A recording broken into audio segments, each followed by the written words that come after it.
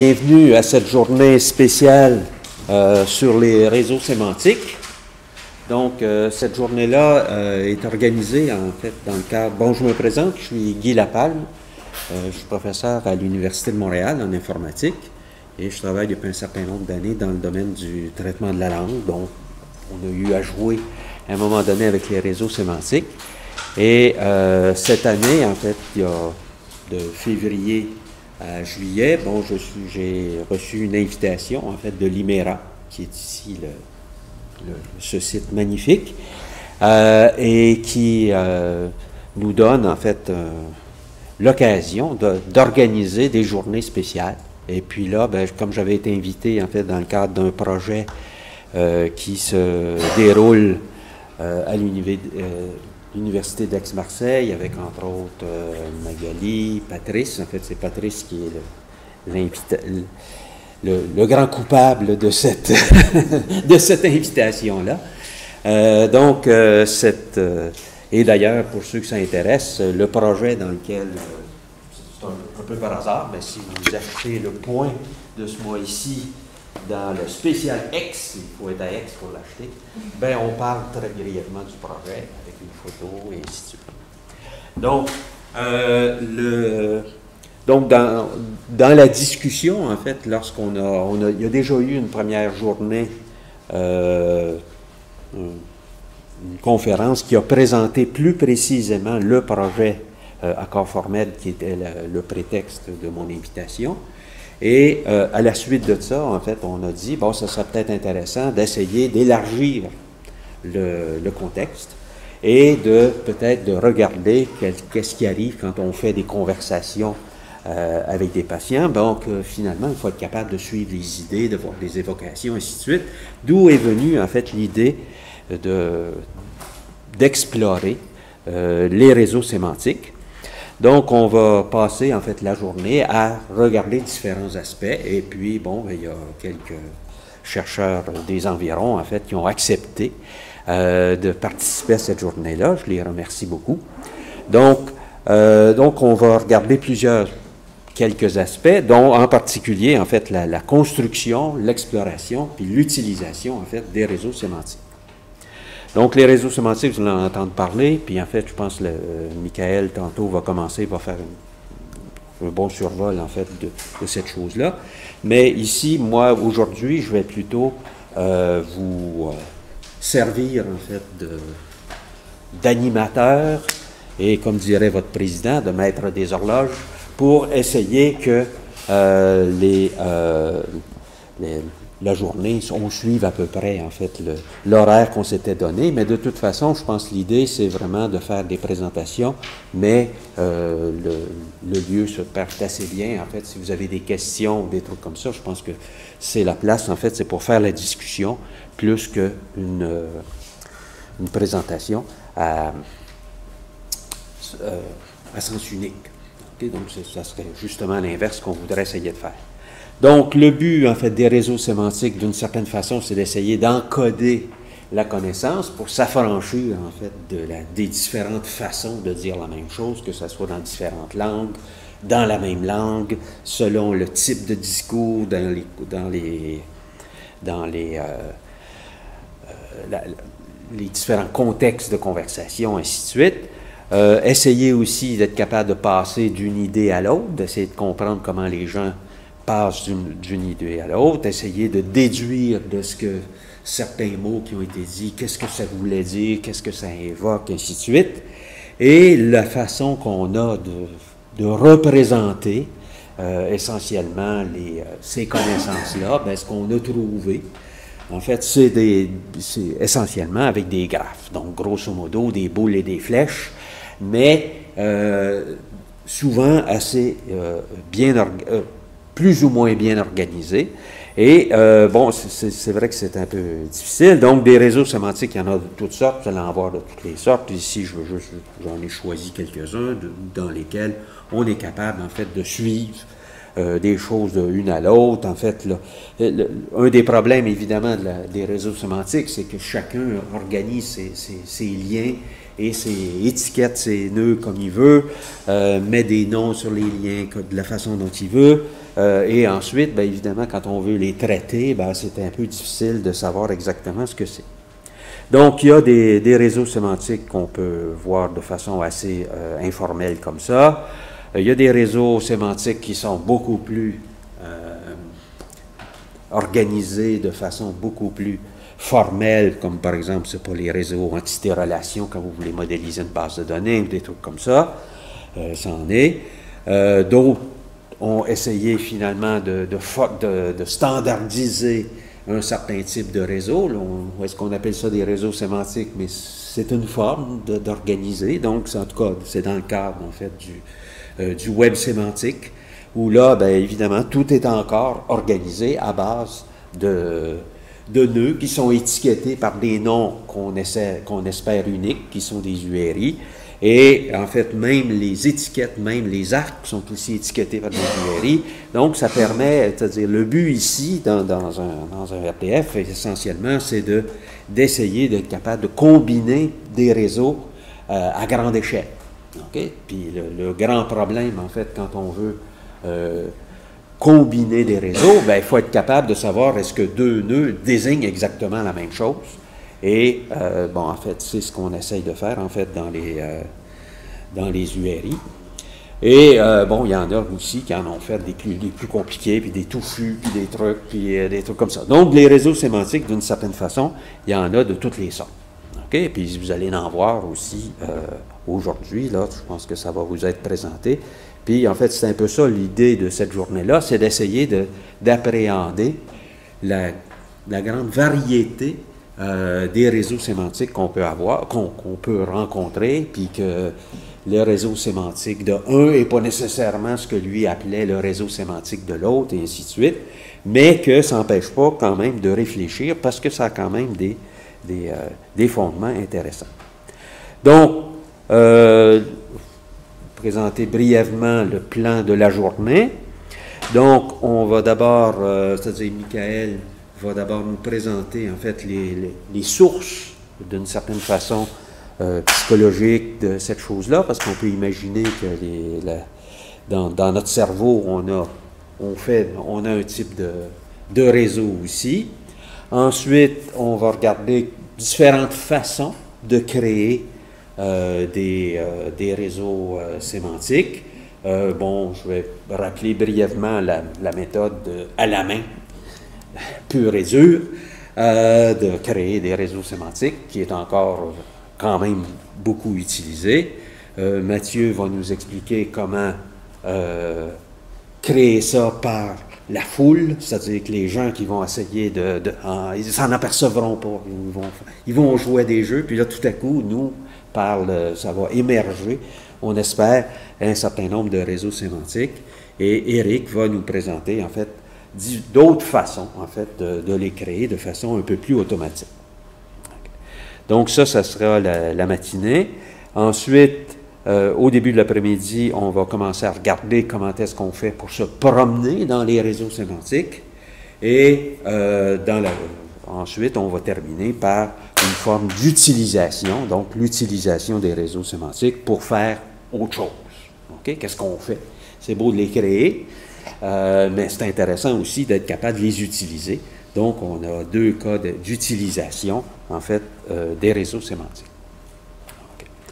Donc, euh, s'il n'y a pas d'autres questions, on va passer tout de suite, en fait, à Michael. Donc, Michael, c'est un chercheur CNRS qui travaille depuis plusieurs années, en fait, dans le... Oups, OK, bon, ça va aller travaille à l'Université de Marseille. Oups, ça va-tu marcher? Ah, ben c'est bon. OK. Et qui va nous présenter ces, ces choses. Veux-tu fonctionner comme ça? Très bien, c'est parfait. Bon? Et je, je fais commencer comme ça, c'est ça? Oui. D'accord. Bon, bonjour. Merci Guy d'avoir euh, pris l'initiative d'organiser cette journée et d'avoir convié deux des très grands noms euh, travaillant sur les réseaux, Bruno Gomme et euh, Mathieu Lafourcade, et bien sûr aussi d'autres personnes euh, euh, ici présentes. Alors, ce que j'essaye de faire, c'est pas seulement parler des aspects psychologiques, j'essaye de, situer les réseaux sémantiques euh, un peu plus largement, à savoir différents types, qui en a déjà présenté plusieurs, quels sont leurs usages et des aspects psycholinguistiques. Alors, le menu, Guy l'a déjà présenté, et si on a consacré cette journée à ce sujet-là, c'est qu'il y a matière à euh, s'inspirer à faire les choses. Alors pourquoi est-ce qu'on aime les, les, réseaux sémantiques? Parce que contrairement à un sujet du style euh, l'évolution des déterminants dans le breton, c'est un sujet quand même plus sexy que, euh, ça. D'accord? Donc il y a énormément de choses et, euh, il y a énormément de matière et de choses à tirer. Alors, ce qui est marrant, euh, pourquoi est-ce que ça nous fascine? C'est un mot réseau sémantique qui contient deux mots qui font rêver la sémantique et les réseaux. Les réseaux, on le sait, des réseaux, il y en a partout, réseaux sociaux, etc. Et la sémantique, personne ne sait trop ce que c'est. Alors, les réseaux, en revanche, ça c'est un domaine extrêmement bien étudié par, euh, par les matheux, donc la théorie des graphes, etc. La sémantique, il y a beaucoup de travaux euh, aussi, mais euh, c'est toujours pas très clair. Euh, si on considère que la sémantique est dans le réseau, la question se pose, elle est où la sémantique? Dans les nœuds, dans la position au sein du nœud, est-ce que c'est tout le nœud, etc. Mais on va voir, euh, ça dépend. Alors, donc je vais présenter une vision particulière du domaine. Bon, comme je l'ai dit, je ne vous apprends rien, des réseaux, c'est quelque chose qui existe partout dans la galaxie, euh, en géographie pour se déplacer, dans la société, dans le corps humain, dans, euh, le cerveau. Et ce qui est intéressant, euh, les réseaux, bien sûr, c'est un ensemble de nœuds qui sont connectés. Mais, euh, et c'est là où j'aurais tendance à dire, les réseaux sémantiques, c'est un peu comme le sexe, c'est beaucoup dans l'esprit. C'est-à-dire, on voit des choses, et euh, là, quand on regarde le ciel, ces liens, elles n'y étaient pas. C'est l'esprit humain qui les a faits. Et ce qui est intéressant aussi, il a rapproché à quelque chose qu'on connaissait déjà, si bien qu'on a fait une forme. D'accord? Là, je crois que c'est le grand ours, je ne sais pas quoi. Donc, alors, à partir de ce moment-là, euh, on, change de, on change complètement la donne. Parce qu'à partir du moment où on a reconnu une forme, on peut euh, y référer. D'accord? Ça permet de s'orienter.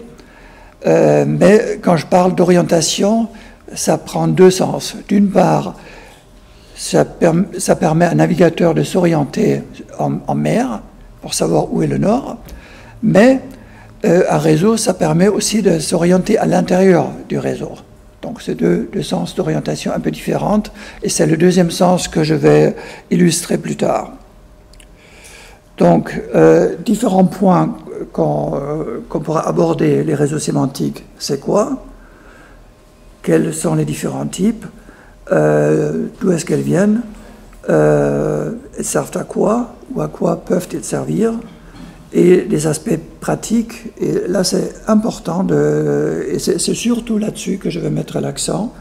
Euh, ils nous permettent de faire des choses qu'on ne pourrait pas faire en leur absence. D'où la fascination et la, valeur ajoutée d'un concept comme les réseaux sémantiques. Euh, je vais l'illustrer rapidement pour euh, l'encodage des idées, donc les éditeurs conceptuels, euh, mais aussi pour trouver au moment de l'expression le mot qui est bloqué sur le bout de la langue. Alors,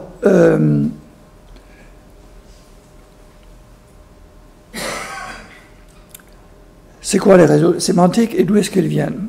Bon, avant de me lancer dans, dans, dans ce qui est marqué dans, dans Wikipédia, parce qu'eux, ils commencent euh, dans les années 60 avec Colin Sequillian. C'est un modèle. Souvent, euh, dans l'histoire, il y a un événement, une publication qui change tout. c'est un peu Warnet, ça a bouleversé la, façon de concevoir le, dictionnaire. Euh, et, en fait, l'origine de Warnet, elle, est au moins dans le travail de Colin Seculian, euh, ici, mais en réalité, ça remonte à Aristote. Par exemple, euh, à cette époque-là, euh, il y avait les, les, arbres de porphyre. Je ne sais pas si c'est des gens qui ont fait la philo, qui doivent connaître ça.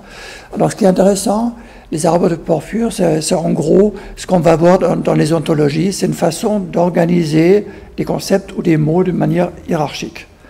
Et ce qui est, apparu à la même époque, euh, d'une façon complémentaire aux associations paradigmatiques, donc sur l'axe euh, horizontal, c'est les associations, c'est donc l'axe euh, euh, horizontal. et ces deux notions-là, on les retrouve ici dans le, réseau de, de Colin Seculian. ce qui était intéressant, c'était donc à la fois cette organisation hiérarchique et le fait d'y rajouter des informations syntagmatiques.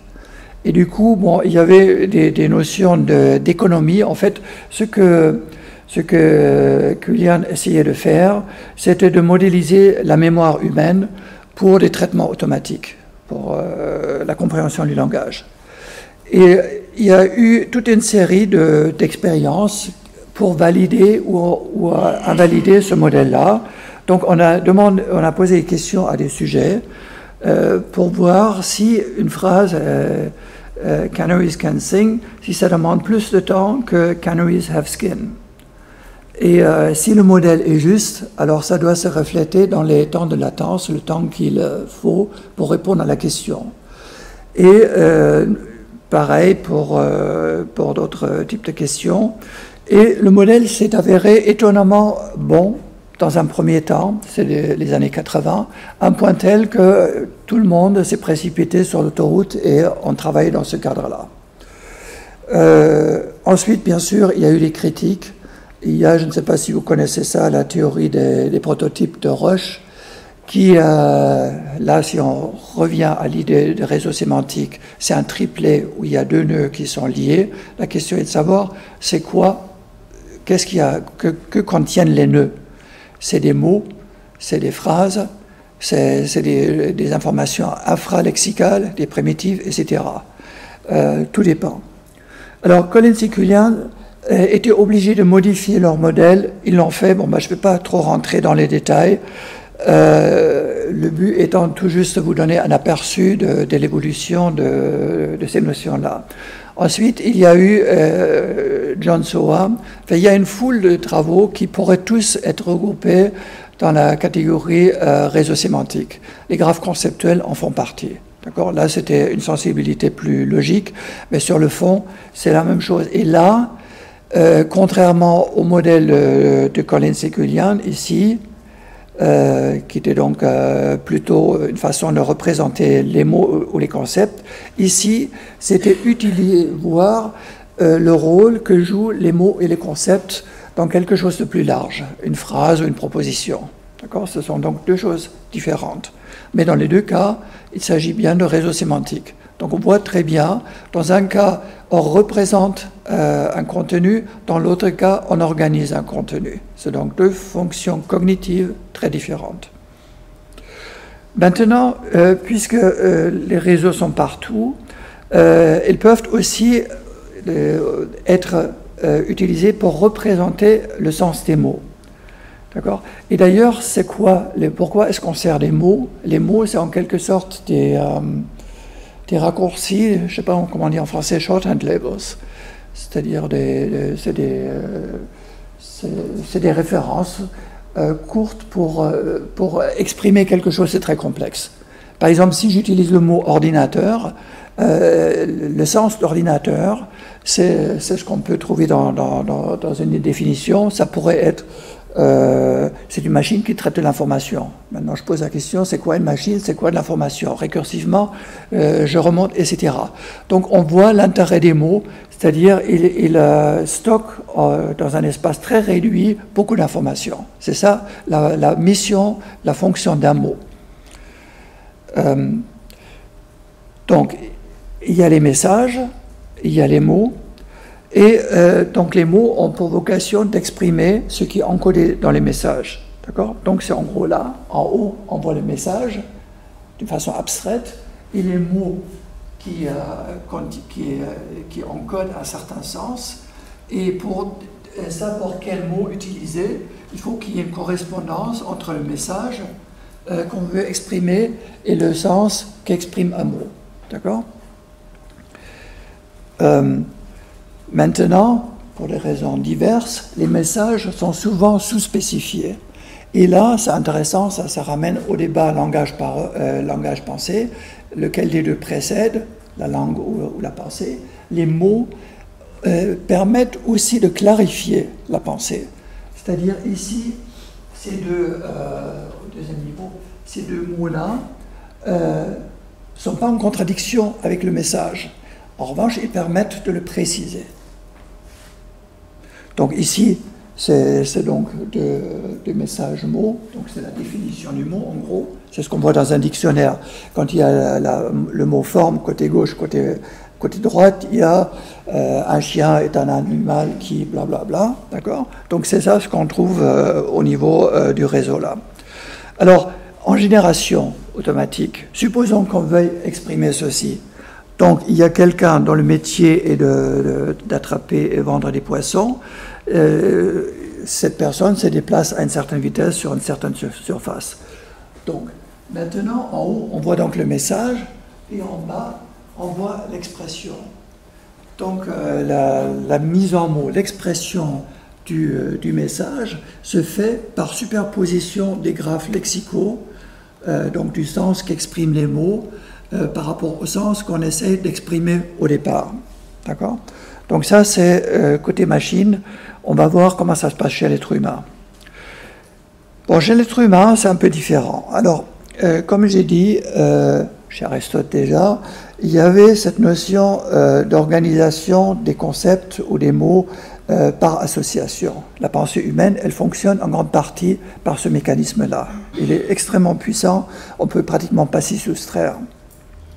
Alors, des réseaux associatifs, il y en a un paquet. Mathieu va vous en présenter un.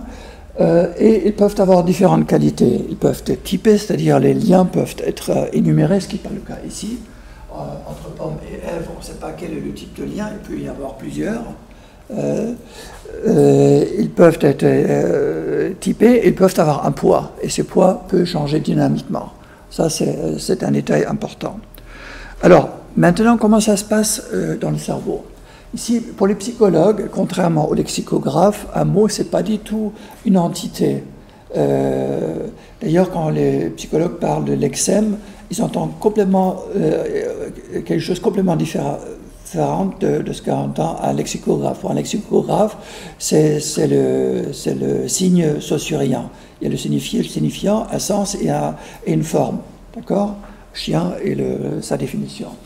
Euh, pour un psychologue, un mot, c'est l'ensemble des informations ou des nœuds qui doivent être activés pour mettre en branle euh, un organe périphérique, c'est-à-dire euh, la main pour écrire ou, la bouche pour, pour, produire des sons, pour exprimer ce qui s'est passé avant.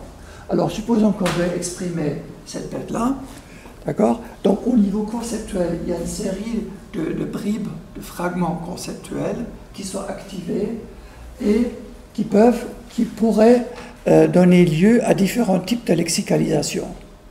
Euh, par exemple, supposons qu'on a euh, alligator et caïman, caïman ou crocodile, ils sont très proches, mais ils sont différents. Au niveau conceptuel, ils ont un certain nombre de, de, primitifs ou très en commun. Au niveau suivant, on a ce que Level appelle un lexème, un concept lexical à noter que ce n'est pas la forme lexicale. Ici, on, a, c'est une variable en fait pour un psychologue. Donc, c'est n'est qu'au niveau suivant euh, qu'on va, euh, euh, en ayant activé une série de, nœuds phonologiques, et si, si l'activation se fait correctement, qu'on va pouvoir produire un marsupial. Ici est capital, et, ceci se justifie par des erreurs de production, les lapsus, etc. Et ça, il euh, n'y a, aucune discussion là-dessus, c'est un fait. Donc le modèle de, de c'est la même chose. En haut, on voit donc le concept à exprimer, c'est cette bête, et il pourrait y avoir une compétition entre sheep and goat, qui ont un certain nombre de traits en commun. Euh, au bout d'un moment, on va converger vers quelque chose, euh, par exemple sheep, et à ce moment-là, voici les, les phonèmes euh, qui doivent être activés. C'est encore beaucoup plus compliqué, mais je ne vais pas vous noyer avec ça. D'accord? Donc, ceci pour vous dire que euh, les mots euh, ou les réseaux sémantiques pour un psychologue ont des, statuts complètement différents. Donc, on est une série de couches où il y a des réseaux qui sont activés. Il n'y a pas, il a pas de. Pour, pour, un informaticien, un mot est représenté et on va le, on va le retrouver parce qu'il est stocké. Pour un psychologue, il y a activation au niveau euh, inférieur, au niveau de, la production, on fait là tu es sur des, euh, phonèmes. J'imagine qu'on peut avoir la même chose avec des graphèmes. c'est l'aspect euh, production, sortie qui. Tout à fait. Tu as les bimolo, etc. Tout à fait, exact.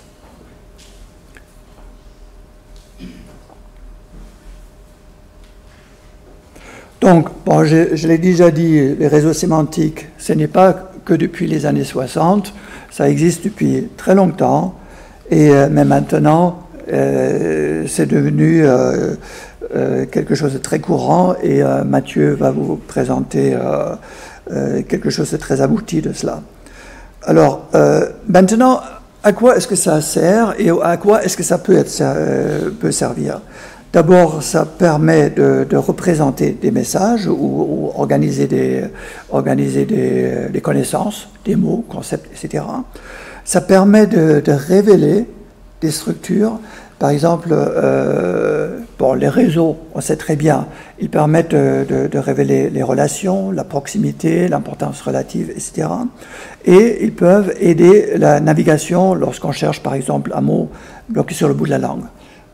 Qui a déjà présenté Shakespeare Bon, ici, par exemple, voici ce que Shakespeare a peut-être euh, eu dans l'esprit euh, au moment d'écrire euh, donc Hamlet. Donc il y a une série d'acteurs qui interviennent, qui, entretiennent un certain nombre de relations. Et le fait de faire ce qui s'appelle des cartes heuristiques ou mind map, c'est assez utile. je vais le montrer par un autre exemple pour euh, vous rappeler ce que vous vouliez dire. Parce qu'il ne faut pas oublier, euh, euh, quand on parle, il y a toute une série d'opérations qu'on effectue. Je me place en mode production, on doit décider ce qu'on veut dire, on doit trouver les mots, on doit les mettre dans le bon ordre, il faut, effectuer des opérations morphologiques, euh, graphémiques ou phonétiques, euh, et à, l'écrit, il faut aussi organiser le texte. Donc ça fait beaucoup de choses, et sachant que, que tout ceci se, se fait extrêmement vite, donc c'est pas évident. Donc quand on apprend une langue étrangère, chacune de ces étapes-là demande énormément de ressources, euh, vous n'avez qu'à essayer euh, de vous souvenir à quel point c'était difficile en français d'apprendre en anglais de prononcer le TH, alors que ce n'est qu'un tout petit élément euh, au bout de la chaîne, d'accord? Alors qu'il y a beaucoup de choses à un niveau beaucoup plus, plus élevé qu'il faut gérer. bon, je vais passer là-dessus. Alors, donc, ici, c'est un système que j'ai conçu enfin, dans les années 80. Ce système avait pour vocation d'aider euh, quelqu'un à apprendre une langue étrangère. Et euh, une des particularités de ce système, normalement à l'école, euh, le prof vous dit, je vous dis, vous me dites quel est le passé composé du verbe courir, etc. Donc l'élève se tait, il ne parle que lorsqu'on on le lui demande. Là, c'est un peu différent. J'essaie de mettre l'élève en position d'un enfant qui, lui, peut solliciter son environnement en demandant euh, Maman, comment est-ce qu'on dit pour ceci? Donc on peut poser des questions et on peut. Euh, donc ceci suppose qu'on puisse communiquer à la machine ce qu'on veut dire. Donc on voit cette fenêtre divisée en deux, parties. La partie haute contient une espèce d'ontologie, une espèce d'arborescence conceptuelle, dans laquelle l'utilisateur fait ses choix et là ça se fait incrémentalement, pour communiquer au système ce qu'il veut exprimer. Donc pour, euh, pour, construire une, euh, euh, phrase du style Zidane hammered the ball into Zidane a marqué un but, on, voit comment il a d'abord choisi parmi les acteurs êtres humains, puis les actions, etc. etc. D'accord? Bon, maintenant, je viens, je, le message étant exprimé ou étant codé, reste à l'exprimer. Bon, une des étapes élémentaires, c'est trouver les mots. Trouver les mots, c'est quoi? C'est réduire le dictionnaire à un, ni plus ni moins. D'accord? Une fois encore, parler consiste à effectuer beaucoup d'opérations en très peu de temps, euh, sachant que, euh, je sais pas, euh, nous avons tous un dictionnaire mental, je sais pas, de 50 à 100 000 mots. Donc si on produit 2 à 3 mots par seconde, voire plus, ça laisse très peu de temps. Donc ce n'est pas un mince exploit de pouvoir trouver le mot parmi les 100 000 mots stockés. D'accord? Alors, comme je l'ai dit, souvent, pour la raison que je pourrais argumenter, les messages sont souvent sous-spécifiés. Parce que comme on, a une mémoire de travail limitée, on ne peut pas euh, avoir planifié en tous les détails ce qu'on va dire. Supposons une phrase complexe avec deux relatives, ou même avec une seule relative. au, moment de, commencer à articuler, je n'ai pas encore encodé le reste de la phrase. Du moins pas en tous ces détails. Ce que j'ai fait, j'ai planifié à un niveau très abstrait du style X faisait quelque chose à Y. D'accord? Euh, donc, donc, au niveau des mots, ben, je peux vous la exprimer cette bête-là, mais à un moment donné, il va falloir que, je me décide. Et de deux choses ou bien ça me vient à l'esprit euh, et il euh, a aucun problème, ou, et c'est ce qui m'intéresse plus, c'est lorsque euh, on a du mal, eh bien, bah, à ce moment-là, on consulte une ressource, un dictionnaire. Et ce dictionnaire doit avoir un, un certain nombre de qualités que, je mot A, remettre dans un degré moindre, et je vais les montrer, ces qualités. Alors, des réseaux associatifs, il commence à en avoir un certain nombre. Un des ancêtres, c'était les Edinburgh Association Thesaurus. C'était un petit réseau associatif de 30 000 mots, je crois, au moins euh, 8 000 mots en fait. Euh, et euh, on avait demandé aux gens de, donner le premier mot qui leur venait à l'esprit euh, en fonction d'une entrée. Supposons que, l'entrée était Inde, bon, voici on obtenait ceci comme résultat. Les 100 premiers mots étaient cela. Alors, c'est très bien, il y a même un poids. J'ai néanmoins un problème avec cela. Pourquoi? Parce que d'abord, on va voir, à partir de l'Afghanistan, tout ce mot. Alors, comment est-ce que je fais un choix entre cela? Et Qui plus est, des mots qui sont du, euh, du même genre, qui appartiennent à la même famille, ne sont pas des voisins. Ça, c'est très gênant parce que là, j'ai une liste plate. Je dois la parcourir de A à Z. Euh, or, si je, cherche un, pays, ben, ce sera plus, plus naturel de me présenter tout ceci sous forme d'une euh, ontologie ou quelque chose de, ce type-là. D'accord? Donc, les liens ou les catégories ont une certaine valeur heuristique. D'accord? Donc, euh, j'ai terminé. donc, ici, euh, comme, comme c'est transparent, être mis à la disposition de tout le monde.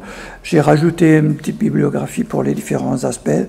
Bon, pour, les réseaux sémantiques, les deux travaux euh, principaux euh, sont, qui discutent en détail les deux notions clés, celui du nœud et celui du lien. C'est le travail de Bill Woods et de, de Ron Bachman. Les travaux psychologiques sont bien euh, répertorié dans, le numéro spécial de Guy Dernière. Sur les euh, réseaux sémantiques, euh, ah il n'y a pas. Bon. il y a une série de travaux.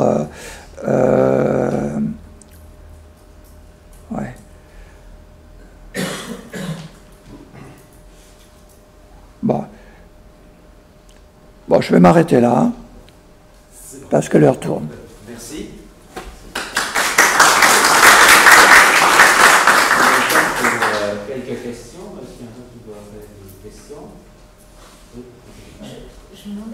des émotions et puis généralement d'une interaction avec un autre individu sur euh, le parcours, enfin le, mot qu'on peut être amené à dire. Euh, Donc en quelque sorte le parcours d'un réseau sémantique chez l'humain. Dans quel cas Lorsqu'on lorsqu cherche un mot Ouais. Donc, euh, repose-moi la question. Quand on, quand on, cherche un mot, est-ce que euh, j'imagine qu'il y a une influence de l'individu sur. Euh, l'émotion ouais.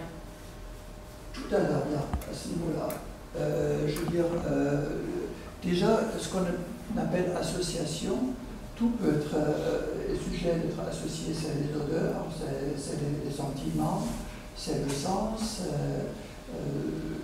par exemple, on peut dire, ça un goût de machin. D'accord? Ou quand on dit c'est un truc qui, euh, qui m'a fait rigoler, c'est l'émotion. Donc, si, si ce type d'information est suffisamment fréquent pour être capté dans le réseau lexical qu'on a construit, on peut s'en servir. Si c'est personnel, non.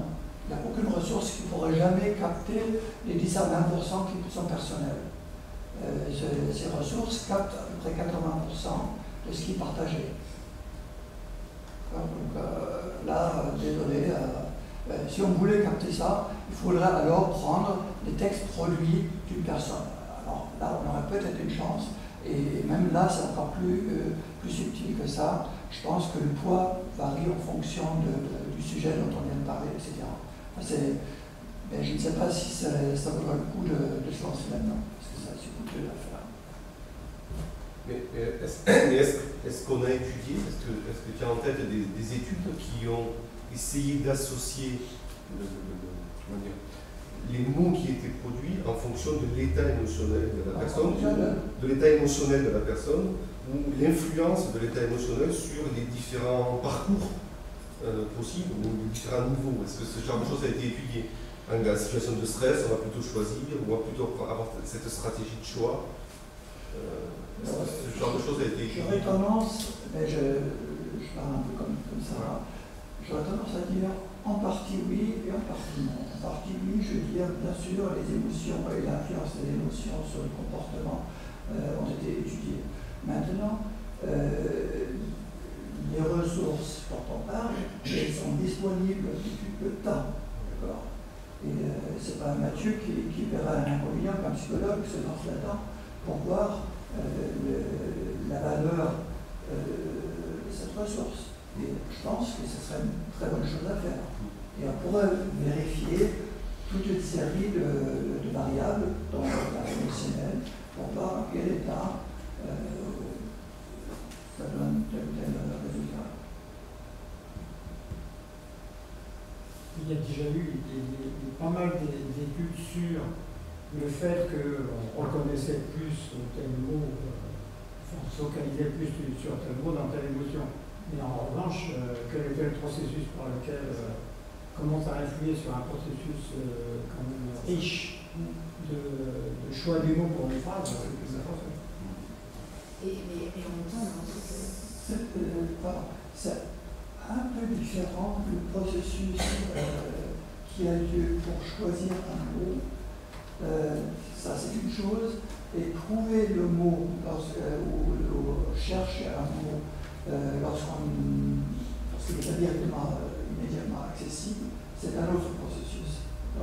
Donc, le, le, le, le modèle de Nebel, il décrit assez bien, je crois, euh, l'activation pratiquement instantanée des mots. Et, et, ce qui est intéressant, et, euh, il y, a, il y a donc deux communautés qui se parlent pas si jamais, euh, qui, qui, tous les deux euh, s'intéressent au dictionnaire mental. Il y a les psychologues, euh, les et compagnie, eux, ils s'intéressent du passage des concepts, des idées à la forme linguistique. Et les gens comme euh, Mathieu ou, ou Nelson, eux, et, et, ils, ils, essaient plutôt de faire une carte du dictionnaire mental. C'est différent. Euh, parce que dans un cas, les nœuds, dans, dans le cas de, de et de jeux de mots, les nœuds sont des mots. Euh, dans le cas de, de Lebel, les nœuds sont pas des mots. L'ensemble débouche sur, sur un mot. C'est un détail très important.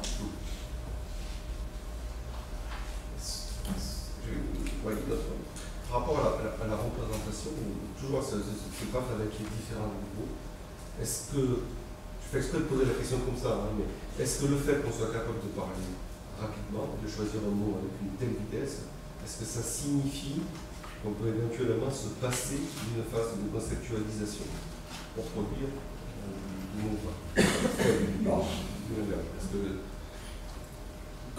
Comme nous savons tous, il y a des gens qui ne peuvent rien dire. Ça- ça peut être difficile Ça peut être difficile. Et ils utilisent les autres un peu, soit dit Google, soit comme des, des- gens qui permettent de tester un peu leurs idées. Néanmoins, euh, d'une manière générale, je ne pense pas qu'on puisse dire cela. C'est-à-dire, il y a une différence, je me souviens une fois, quelqu'un m'a demandé euh, s'il y avait euh, le bien fondé de parler de concept et voir la différence entre concept et mot. Et j'étais tellement sidéré, je voulais rester poli, donc je n'ai pas répondu sur le champ. Plusieurs remarques néanmoins. D'abord, euh, s'il n'y avait pas de différence entre concept et mot, on ne pourrait pas penser en dehors de la langue. Ce qui n'est pas le cas, parce que forcément, nos connaissances évoluent et on crée les mots en fonction des besoins. Par ailleurs, comme, je l'ai dit, euh, on, ne pourrait pas planifier les phrases, parce que si un mot ne vient pas, on ne pourrait pas terminer euh, l'idée qu'on veut exprimer, etc., etc. Donc il y a forcément de, des niveaux. Euh, maintenant, dans quelle mesure est-ce que c'est comprimé, etc., ça Oui, la, la question, elle, peut être entre concept et mot, mais elle peut être aussi sur conceptualisation, c'est-à-dire qu'on peut avoir des schémas plus ou moins complexes. La dissociation entre concept et mot, c'est une chose, mais par contre, le processus de conceptualisation, qui est une représentation complète de l'énoncé, euh, celle-ci, est- c'est un autre problème. Soit, mais imagine-toi la situation suivante. Euh, souvent, on a du mal à, à- à comprendre pourquoi un psychologue, je suis en cadre, etc., on se dit, je marche, je parle, le problème, d'accord. Maintenant, imagine-toi, tu dis en, en- en langue étrangère, tu fais une traduction, tu cherches un mot. Et c'est d'ailleurs pas forcément la même chose que de pas un mot que, que tu connais. Tu te dis quel est le meilleur mot pour dire ce Là, tu es au niveau conceptuel. Bien sûr. Donc, par exemple, il y a des concepts qui n'ont pas de correspondance lexicale euh, en, français. Le mot multiplicateur, cosinus en anglais, n'a pas de- de- d'équivalent direct en français. Ça correspond à une- euh, le, le- le feu d'un cheminée, euh, une atmosphère chaleureuse, etc. Mais c'est- toute une phrase, hein, vous voyez. Donc, on doit transposer, et je pense que ça montre quand même qu'il y a au niveau conceptuel des choses. Et après, comme j'ai essayé de le montrer avec euh, Alligator et Caïman, il y a quelque chose qui se ressemble. Mais après, il, va falloir faire des choix. C'est c'est ceci ou cela. D'accord? Et- et- Pour, expliquer le- pour illustrer peut-être le- le- l'idée, j'ai discuté la semaine dernière avec quelqu'un qui travaille sur la traduction de- euh, d'un texte oral en langue des signes. Et, et donc la, question c'était de savoir quels étaient les différents niveaux de conceptualisation et de formalisme nécessaires pour passer de l'un à l'autre. Et l'idée générale c'est de dire on parle d'une phrase à l'oral, on passe, à on passe par un processus de déverbalisation qui est complètement générique, indépendant même de la notion de, de- de- de- de- de langue, de de orale, pour ensuite passer à un formalisme qui revient à un formalisme linguistique et ensuite faire la production de, de, de linguistique. Et donc en fait ils ont ressenti la nécess- nécessité de passer par deux phases de conceptualisation à différents niveaux d'abstraction. Et, et pour renforcer le flou, c'est en fait un des problèmes de la communication euh, qui, est aggravé lorsque deux cultures s'affrontent. Par exemple, imaginez euh, des Israéliens et Palestiniens qui, essaient de négocier. Donc, ils, ont non seulement différents intérêts, mais ils ont différentes cultures. Donc, euh, ou je ne sais pas, les Japonais, les Coréens, les Chinois, etc. Donc, euh, il- il, euh, on doit transposer, et, et- et, euh, c'est là où on a besoin de diplomates qui connaissent les deux cultures. Ça, ce qu'il a voulu dire, c'est pas ça. Ça correspond à ceci. Donc on est, on est bien, on est bien. Et c'est important, parce que communiquer, parler, euh, on peut parler correctement sans réussir à l'acte communicatif. Bon, je pense qu'on va terminer là-dessus. Merci beaucoup.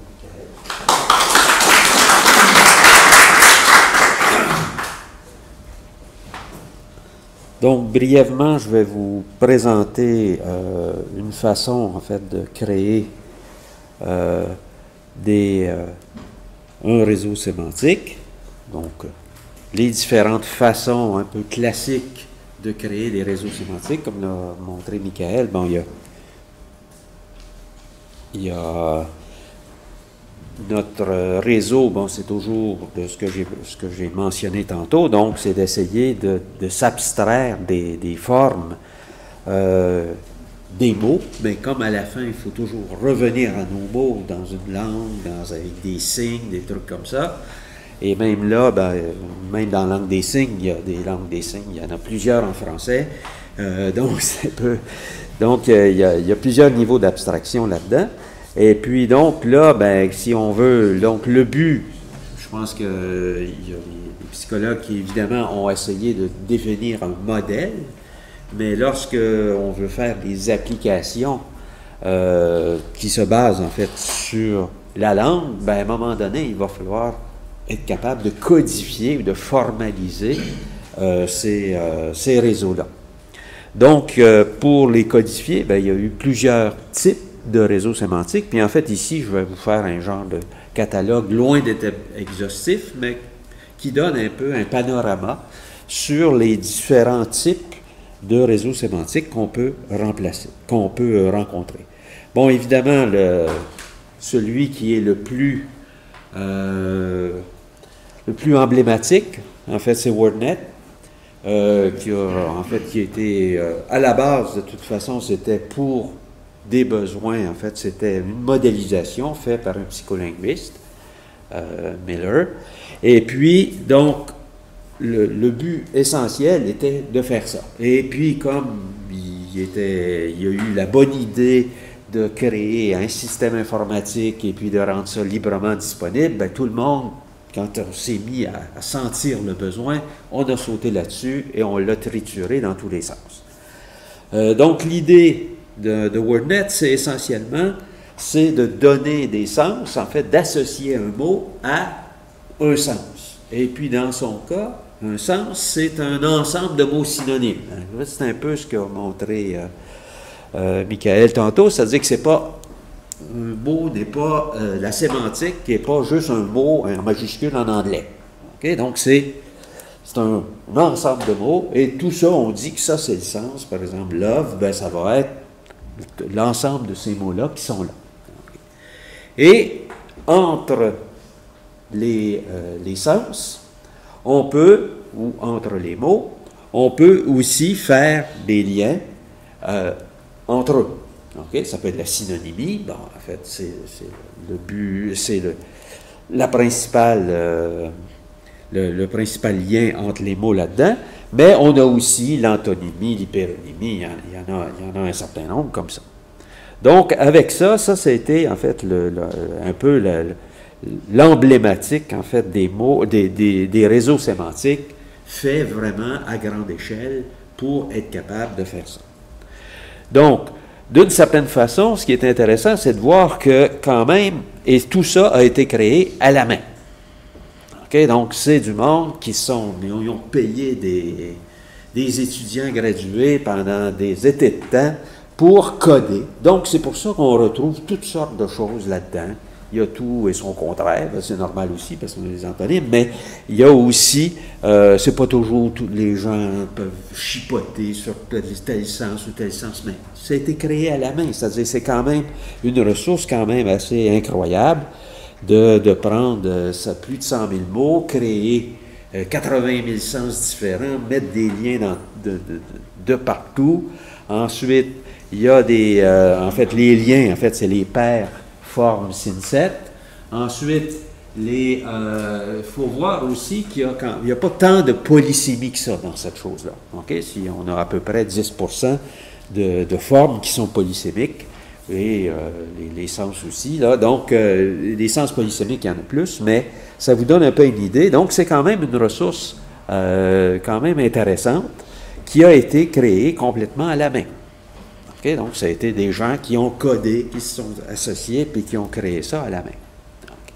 Donc, ça a été créé de façon par des experts, là. Ben, les experts, en fait, c'est ça. C'est des étudiants gradués en psycho qui, évidemment, c'est des Américains qui ont codé leur vision du monde.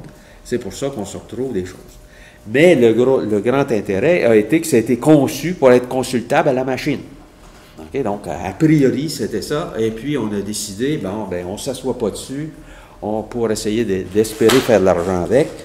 Euh, et par la suite, ben, il y a eu plusieurs adaptations en plusieurs langues, euh, mais jamais très, très peu de langues, en tout cas en français, je ne connais pas de, cas où ça a été vraiment fait de façon aussi systématique, de façon euh, avec des experts. On a essayé de faire des, des traductions plus ou moins automatiques, des trucs. Personne ne veut se retaper le travail de refaire ça. C'est vraiment tout un travail incroyable.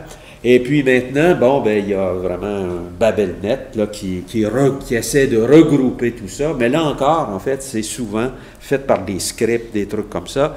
Donc, il n'y a jamais aussi, bon, c'est sûr que ça, ça a des avantages, ça permet de regrouper les choses, mais c'est jamais fait de façon aussi, euh, dirais-je, aussi soignée que le truc original. Il y a certaines langues là, qui, ont, qui ont beaucoup travaillé pour faire ça, mais en tout cas, j'en connais pas beaucoup qui a à peu près la même, euh, la même qualité. Ensuite, un autre type de réseau sémantique qu'on peut associer aussi, c'est un truc qui s'appelle FrameNet, euh, où là, c'est de- d'essayer plutôt que de coder les mots comme étant, euh, coder les sens comme étant des ensembles de mots, ben, on va les coder sur ce qu'on a appelé des cadres sémantiques. C'est-à-dire qu'on donne des petites situations où on va associer, dire, on va, euh, par exemple, si j'ai la, situation de cuire, ben, je vais avoir euh, un cuisinier, quelque chose qu'on va essayer de faire cuire, on va le faire cuire dans quelque chose, et puis on, ça va nous prendre une source de chaleur. Donc, ça, c'est, on appelle ça les, actants, euh, ou les arguments de ce cadre sémantique, et donc on va coder les sens de cette façon-là. Et donc, ça, c'était aussi, ça aussi, ça a été fait essentiellement à la main euh, pour créer la chose. Ensuite, les gens l'utilisent de façon automatique.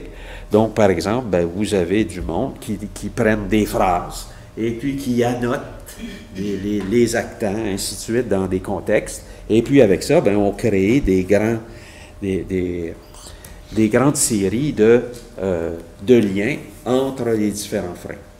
Donc là-dedans, on se retrouve avec des relations entre les frames. Donc, euh, il y a des frames, mais aussi il y a l'héritage, euh, la précédence, la cause, ainsi de suite.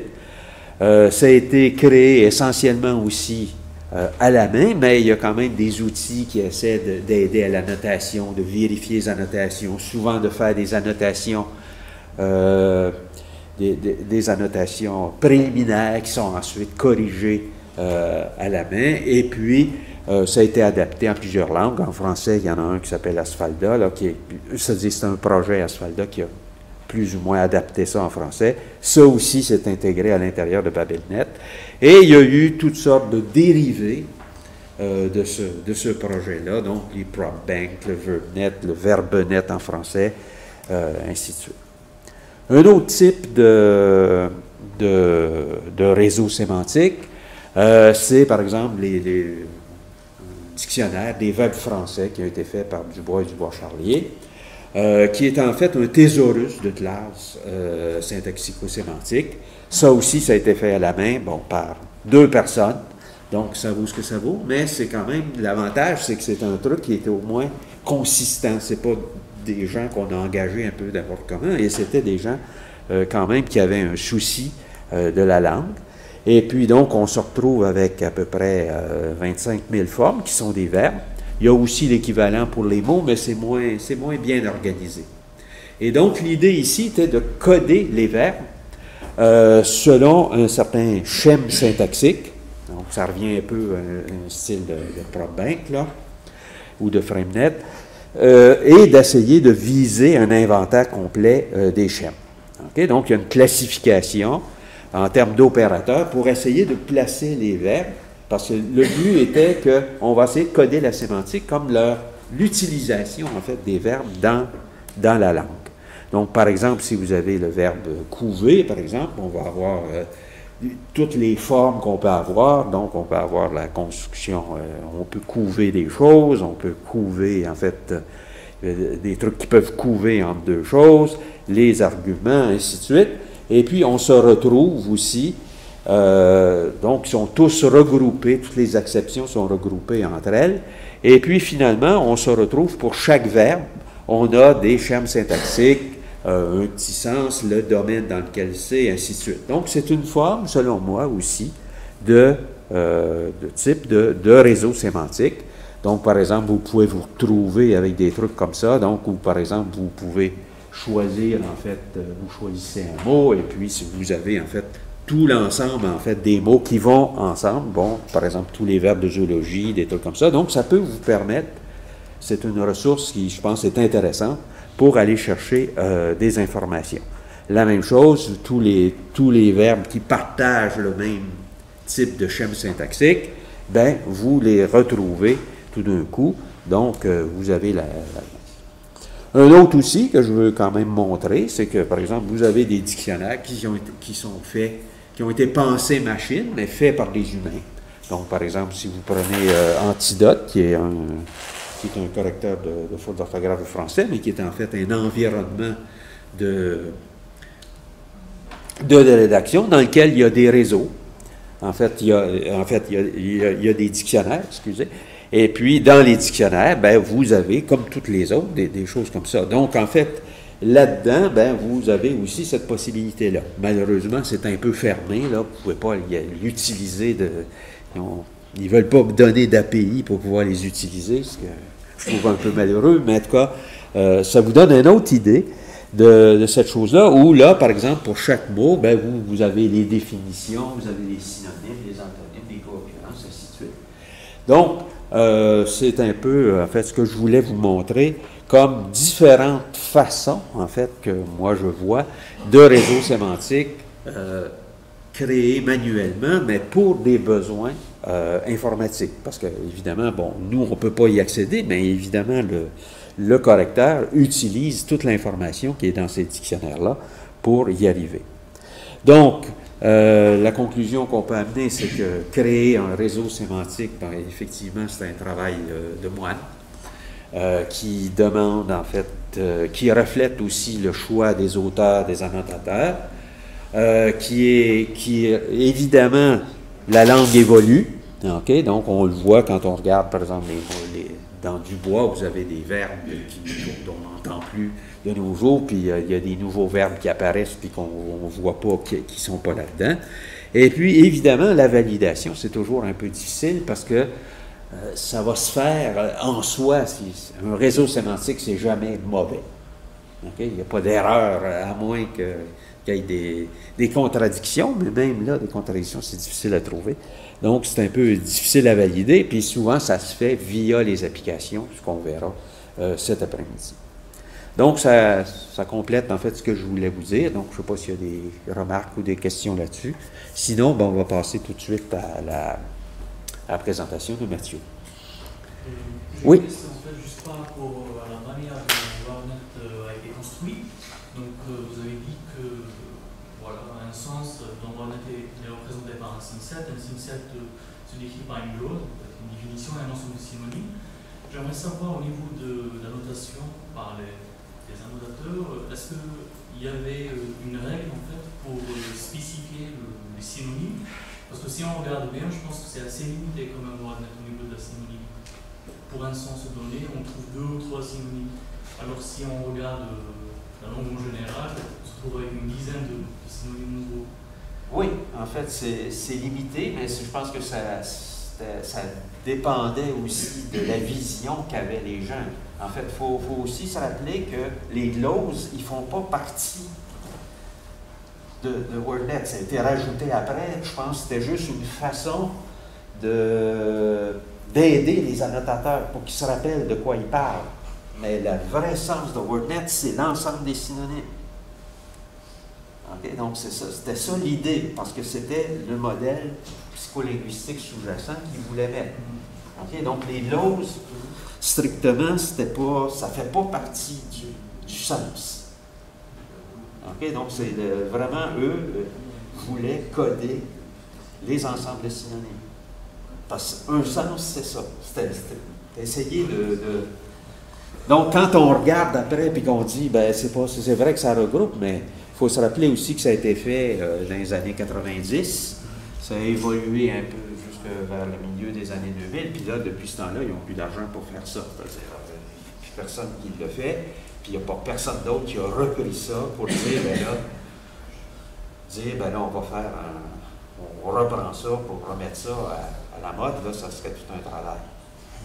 Oui. Parce qu'en fait, euh, par exemple, pour le français, si on regarde le on tape l'entrée souris par exemple, euh, au niveau des, des sens, pour souris, comme synonyme, on trouve rongeur ou mulot.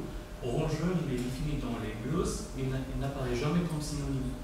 Oui, mais c'est ça, c'est que suffirait de, le- de le rajouter. C'est ça que euh, je posais la question, c'est quoi l'unité euh, principale Est-ce que c'est mais en fait, il faut voir que le WordNet français est particulièrement mauvais d'une certaine façon parce qu'il a été essentiellement traduit.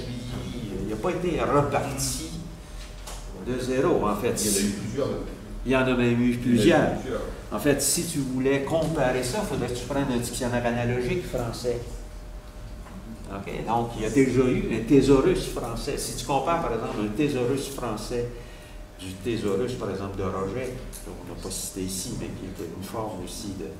Tu vas voir que ça ne matche pas du tout. Les gens n'ont pas du tout la même vision du monde.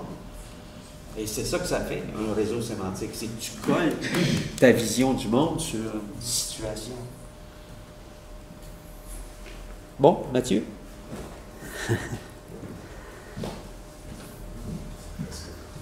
Guy, est-ce que, est-ce que, est-ce que, est-ce que quand même on peut dire, enfin je trouve que c'est c'est vraiment intéressant de se dire que le sens est défini par un ensemble de mots. Alors toujours, le- on définit un mot par d'autres mots, mais euh, est-ce que On commence par la fin. Hein? On commence par la fin. C'est-tu la fin? Oh! Oui, c'est, on commence par le thank you. On peut le faire à l'envers, mais ça C'est ça, c'est un peu plus. aider à la... J'avais pas vu. Vu qu'il y avait tout un truc. J'ai combien de temps à peu près? Tu m'avais dit 45 minutes plus la question C'est ça? C'est ça. C'est ça. Pourquoi tu t'avais tiré? Bon ben bonjour. euh, le Ça se voit à peu près? Vous voyez? Ça se voit. Ou il faut qu'on se mette dans le noir? Fait, c'est parce qu'ici, il n'y en a pas de noir. D'accord, C'est bon. toujours le problème. C'est quand on fait des slides, jamais des fonds noirs. D'accord. Eh ben, C'est très beau sur quand je, serai, quand je serai réinvité, C'est ça. je- mais- Bon, vous arrivez à peu près à lire. Alors, euh, donc, on pourrait essayer de peut-être fermer cette ça? De- Alors, des c'est ça. deux. Un peu mieux? Je sais pas, ça fait beaucoup de différence. Essayer de ça.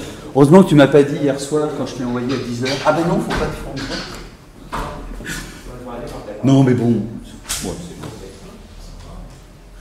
Bon, je vais commencer doucement. Donc, je vais vous parler de, euh, du projet jeu de mots et en particulier donc de, de jeux. Alors, mes slides sont en anglais, mais je parle en français. Euh, de jeux avec but, ce qu'on appelle les games with a purpose, et de crowdsourcing. Donc, les, deux aspects, euh, à la fois jeu et crowdsourcing, intervenant euh, dans le projet, sachant qu'en fait, les jeux, c'est une forme de crowdsourcing. hein. C'est-à-dire qu'on va avoir des intervenants extérieurs qui vont, euh, qui vont participer. Bon, je passe sur la bio, machin, mais enfin, donc je suis de Montpellier, équipe texte au LIRM, à l'université de Montpellier. Donc on est une petite dizaine de personnes, et en gros, on travaille dans deux axes, euh, plutôt analyse sémantique, euh, ce genre de choses, et euh, d'une part, et syntaxe et logique d'autre part. Donc les deux parties de l'équipe, on fait de l'interface syntaxe sémantique. Au niveau sémantique, on a de la logique, des modèles de graphes et des modèles de, de vecteurs. Alors, que sont les, les GWAP Alors, je dis GWAP euh, parce que c'est le nom qu'on a. On n'a toujours pas trouvé de terme sympa en français, donc on prend directement le terme anglais. Alors, il y a un appel à, à idée géniale de trouver l'acronyme français équivalent à GWAP qui, qui le ferait bien, mais bon, pour le moment, c'était pas. Ah, donc, ce sont des jeux, des vrais, des vrais jeux, donc qui ont comme. euh, donc, qui sont censés être drôles, amusants, addictifs, tout ça mais qui sont conçus derrière avec euh, comme tâche soit de l'acquisition de données, euh, soit euh, de la résolution de problèmes. Acquisition de données, c'est par exemple construire un réseau lexical, réseau lexico-sémantique par exemple.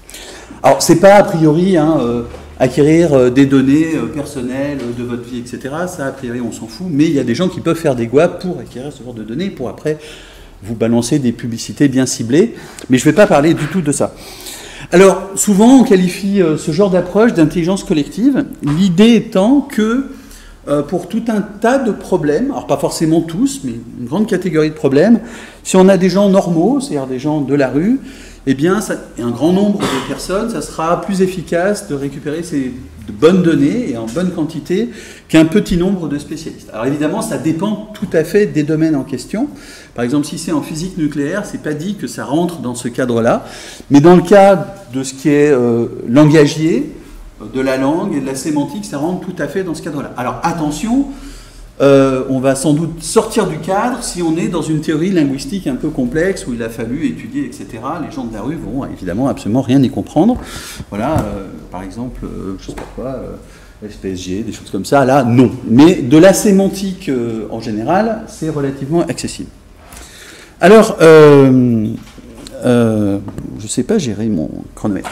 Voilà. Alors, pourquoi euh, des jeux Et euh, petite digression rapidement sur Amazon Mechanical Turk, parce qu'on me pose toujours la question, oui, mais AMT, machin, machin, machin.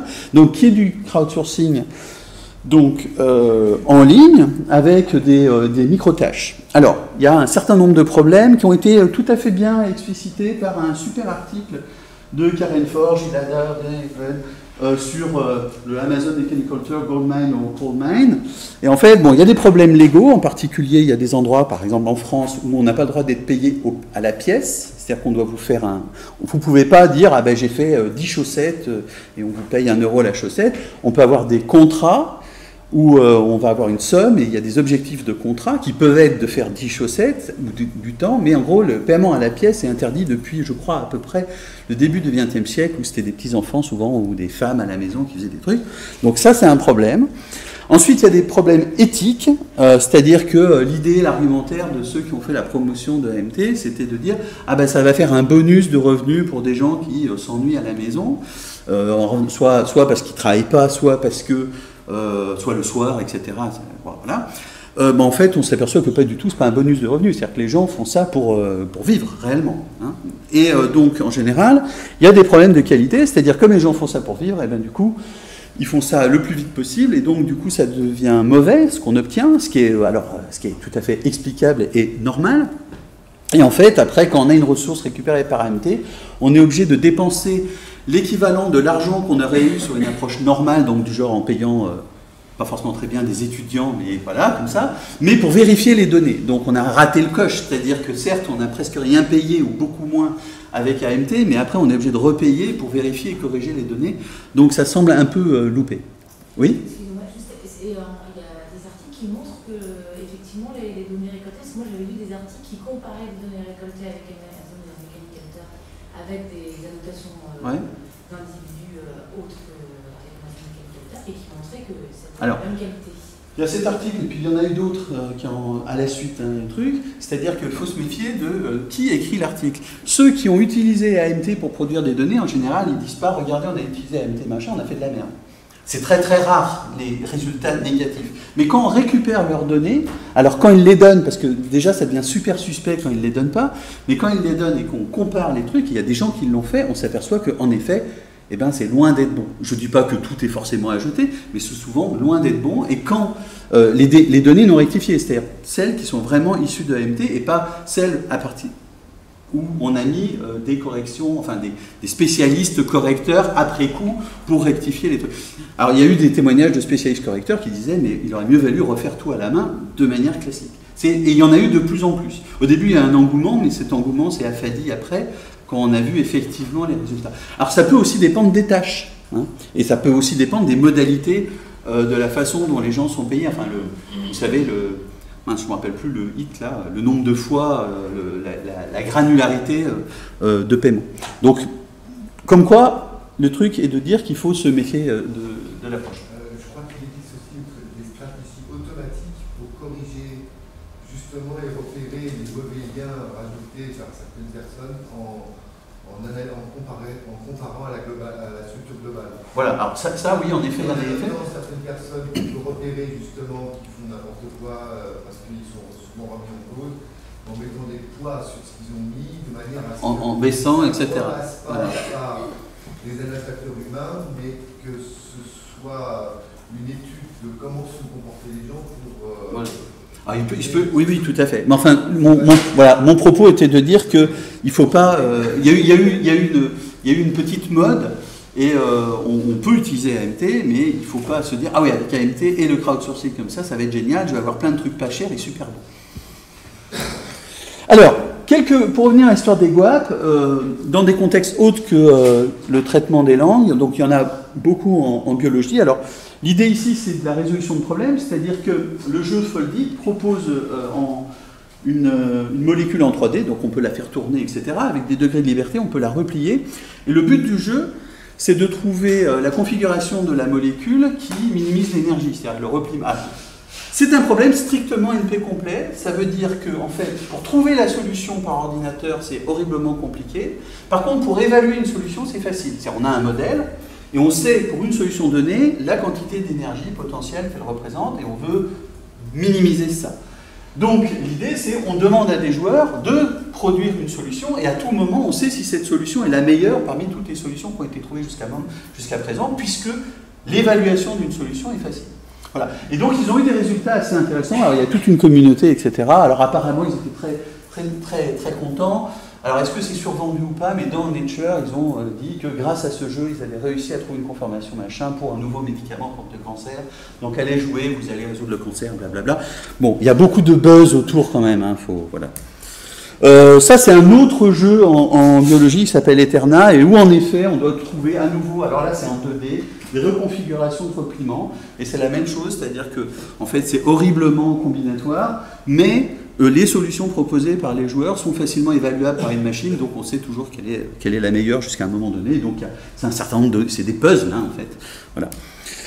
Toujours euh, la même chose, philo, là c'est alors c'est une version simplifiée de, donc là c'est de la phylogénie, c'est des séquences génétiques. Et en fait il faut trouver, là il faut, faut construire en fait un arbre où on apparie euh, par euh, voisin en minimisant les différences et donc de trouver l'arbre où euh, au global il y a un minimum de différences, enfin en gros d'édition, de, changement pour passer d'une étape à l'autre, d'un niveau de l'arbre à l'autre.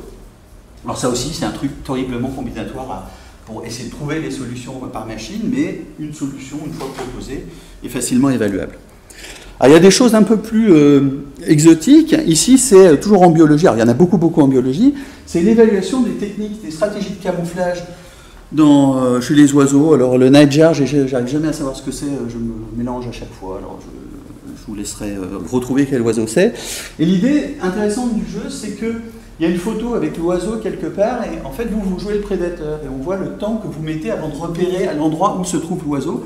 Alors, l'image, elle peut être filtrée selon que vous êtes censé jouer un prédateur qui voit, euh, est-ce vous voyez en infrarouge, pas en infrarouge, est-ce que c'est la nuit, le jour, est-ce qu'il fait beau. Et on compte le temps en millisecondes selon les stratégies de. euh, selon le type d'image qui correspond à des stratégies ou des situations différentes, le temps que vous allez mettre avant de trouver le, le prédateur. Euh, voilà, donc dès qu'on l'a vu, on doit toucher et paf, il est mangé. Il y a- Alors, euh, l'oiseau, il est là. Donc, Non, mais ça, ça aide à résoudre. Alors, l'idée, c'est que euh, ça permet de vérifier des données de modélisation, justement, des évolutives sur les camouflages. Euh, alors, parce qu'on a du mal à demander aux vrais prédateurs. Ouais. Ok Donc, on joue les prédateurs pour essayer d'avoir ces données-là. Alors là, c'est en médecine. L'idée, c'est euh, dans des images de repérer donc le parasite de la malaria, le plasmodium, et en essayant de ne pas les confondre avec euh, les euh, globules blancs. L'idée, c'est que sur les images comme ça, donc on, joue à trouver les bons et à éviter les, bons étant euh, justement la malaria. Et ça, ça donne un corpus d'entraînement pour un système après qui va faire de l'apprentissage dessus pour repérer automatiquement sur les images quelles sont les, les images où il y a effectivement des parasites de la malaria. Donc là, c'est pour créer un corpus qui va entraîner, être entraîné ensuite euh, informatiquement. Indexation d'œuvres d'art. Donc l'idée ici, c'est... euh, alors les œuvres d'art, on sait euh, auteur, le lieu, enfin le, le lieu, l'époque, etc. L'idée, c'est de retrouver des œuvres d'art par des éléments constitutifs de l'image. Donc par exemple, on veut un bonhomme avec une barbe qui porte une boîte ou, ou un livre, etc., etc. Avec quelque chose qui pourrait ressembler, je ne sais pas, une peau de bête et une cape. Vous voyez, on veut des éléments euh, de type sens commun, non pas des, informations de spécialistes. Et l'idée, c'est que on va aller mettre les mots. Donc, il y avait euh, Louise Van Naan qui avait proposé quelque chose aussi pour indexer des images, euh, des indexations d'images via Google, enfin, euh, qu'on trouve sur Internet. Et donc, euh, en gros, l'idée est que si je trouve les mêmes mots que d'autres joueurs, soit de manière synchrone ou asynchrone, je vais avoir des points, etc. Et du coup, ça permet d'indexer ces images. En NLP, en, enfin TLN, il y a Wordrop. Donc en fait, l'idée c'est que ici, euh, c'est un jeu pour euh, de la co-référence. C'est-à-dire qu'il y a le mot, euh, vous avez le texte, il y a le mot en gras là, qui est en dernière ligne, à peu près au milieu, Others. Et il faut savoir, parmi les trois qui sont surlignés en orange, de quoi c'est une référence, quelle est la bonne référence. Alors l'idée est exactement de produire un, corpus annoté en fonction de ce que répondent les gens, euh, en ayant la bonne référence. Ce corpus annoté servant typiquement de gold standard pour un système qui ferait la même tâche, mais du coup, comme on a le corpus annoté par des gens, euh, on, peut, on peut comparer. Alors pourquoi on le fait faire par des gens? Ben, Parce que ça coûte cher de le faire par des spécialistes, c'est toujours la même chose. Et puis, d'une manière générale, en le faisant faire par des spécialistes, on n'a pas, euh, comme ça coûte cher, hein, c'est pas le fait que ce soit des spécialistes, c'est le fait que ça coûte cher, et donc en général une ou deux personnes passent sur les mêmes données. On a peu de, quand il y a de la variabilité, on a peu de variabilité. Donc le fait de faire faire ça par un grand nombre de personnes, c'est-à-dire cette phrase-là va être jouée peut-être des dizaines de fois, on peut euh, avoir des choses assez intéressantes en termes de corpus ou en termes, par exemple, de, euh, de euh, psycholinguistique pour savoir, ah bah tiens, quand les gens se trompent, euh, c'est plutôt quoi statistiquement Ça donne pas les raisons des erreurs, mais ça donne au moins des corpus où les gens ont répondu le plus, on espère, spontanément possible à, la tâche. Zombie Lingo, donc ça c'est fait réalisé par Karen Faure et Bruno Guillaume. Et donc l'idée c'est un peu pareil, c'est qu'il y a un certain nombre de relations syntaxiques et il faut essayer de les, définir. Donc ici, je ne sais plus laquelle c'est, mince, il n'y a pas la, Mais en gros, par exemple, on nous donne un verbe et on nous demande d'aller cliquer dans la phrase où est le sujet, ou un groupe nominal, d'aller euh, trouver dans la phrase où est la tête du groupe nominal. Alors selon les cas, c'est plus ou moins complexe, il y a un certain nombre de relations euh, lexico-sémantiques. Euh, et puis c'est carrossé sous forme de zombie. Alors le fait que ce soit carrossé sous forme de zombie, on aime, on n'aime pas, mais c'est juste un carrossage. On aurait pu carrosser ça complètement. Enfin, ils auraient pu carrosser ça autrement. Euh, je crois que ça attire beaucoup de gens qui aiment les zombies, et puis après ils s'aperçoivent qu'ils n'aiment pas la linguistique. Donc, mais bon, mais ils ont récupéré des données, et c'est assez intéressant. Euh, Ça permet de faire faire une tâche qui peut être rebutante de manière un peu plus sympathique. Alors, les propriétés des, des GWAP, l'idée c'est qu'on doit avoir une correspondance, on doit être en mesure dans le jeu d'établir une, équivalence entre le fait d'avoir un bon joueur et d'obtenir de bonnes données. C'est-à-dire, si un joueur joue bien au sens du jeu, c'est-à-dire gagne des points et bien dans le classement, alors il doit avoir créé de bonnes données, et réciproquement, s'il crée de bonnes données, alors il doit être récompensé. Alors, ça, c'est le, c'est le nœud du problème dans la conception de ce type de jeu. C'est-à-dire que, évidemment, il ne faut pas récompenser des joueurs qui euh, trichent ou sont capables, par un biais du jeu, d'être bien euh, bien élevés dans le classement, à, des bonnes positions, avoir plein de sous, et alors qu'ils ont produit que des données pourries ou pas du tout. Et inversement, les joueurs qui font de bonnes données, ben, il faut les récompenser, c'est-à-dire que s'ils sont très bas dans le classement, etc., qu'est-ce qu'ils vont faire? Ils vont arrêter de jouer, c'est dommage, c'était des bons joueurs et qui produisaient de bonnes données.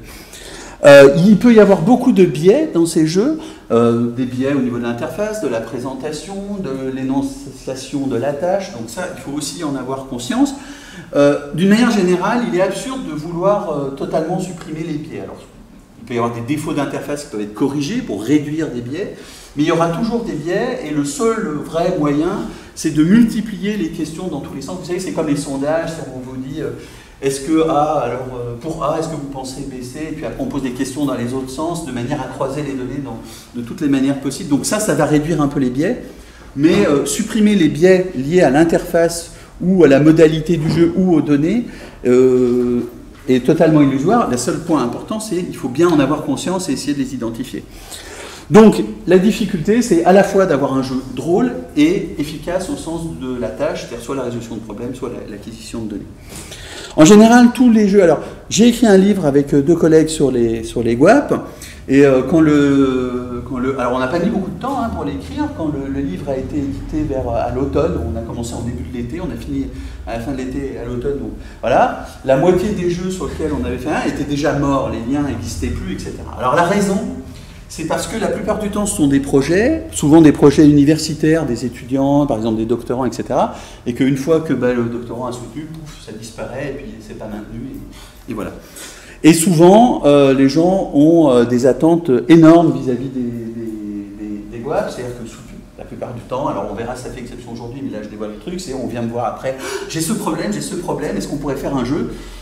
Eh ben, c'est pas, ça dépend. Parce qu'il y a des données, c'est pas du tout, du tout, du tout rigolo et on voit pas du tout comment, même en carrossant, on va rendre les choses vraiment attirantes.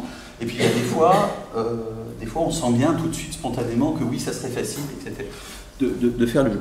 D'une manière générale, pour ce qui est de la langue, euh, surtout la sémantique, c'est assez facile parce qu'on a une grande richesse et une grande variété de choses, donc on peut faire des choses qui sont euh, rigolo- rigolotes, intéressantes, etc. Il y a d'autres domaines, je vous garantis que c'est beaucoup, beaucoup plus euh, difficile et il faut s'arracher un peu les cheveux pour essayer de trouver une idée quand on y arrive. Alors, le contexte du projet jeu de mots, c'était que dans l'équipe, et moi en particulier, je fais de l'analyse sémantique de texte. Au départ, j'avais rien à faire des réseaux sémantiques, rien du tout.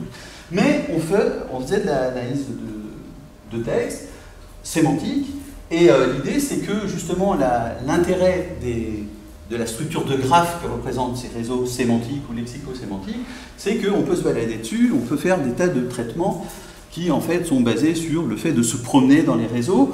Et durant l'analyse d'un texte, eh ben, le point d'entrée, ce sont les mots du texte, et puis après, on sait qu'il y en a des fils vers d'autres mots, etc. Donc ça, c'est intéressant. La question, c'est que bon, j'avais eu un étudiant euh, vous connaissez, certains Didier Schwab, qui avait travaillé sur des algorithmes à fourmis, etc., et qui, euh, durant sa thèse, pour tester, avait fait un petit réseau sémantique à la main. Et puis après, une fois faite, bon, c'était très brillant, très bien, très bien, on s'est dit, bon, mais maintenant on aimerait avoir un vrai réseau euh, sémantique. Et comment on va le construire? Il n'y a rien en français, euh, rien de satisfaisant en tout cas pour nous. Et puis euh, après, la question de savoir comment, comment le faire. Donc, l'idée a été euh, de, à un moment, euh, produire cette histoire de jeu. Mais avant de dévoiler ça, l'idée c'est que un lexi- réseau. Alors, ici, je parle toujours a priori, sauf quand je raccourcis le propos, je parle de réseau lexico-sémantique.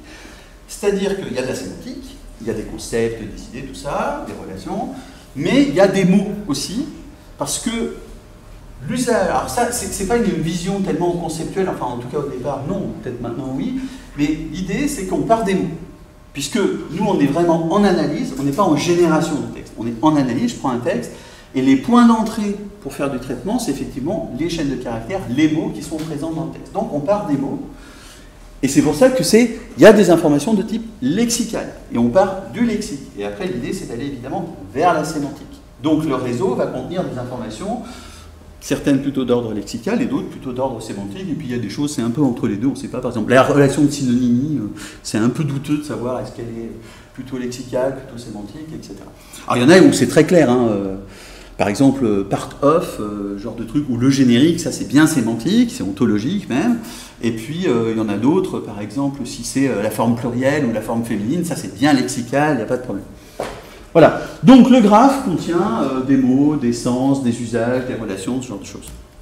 Alors, ça je vais aller assez vite parce que vous connaissez tous, enfin peut-être ou pas, ou alors c'est vrai qu'il y a un exposé cet après-midi.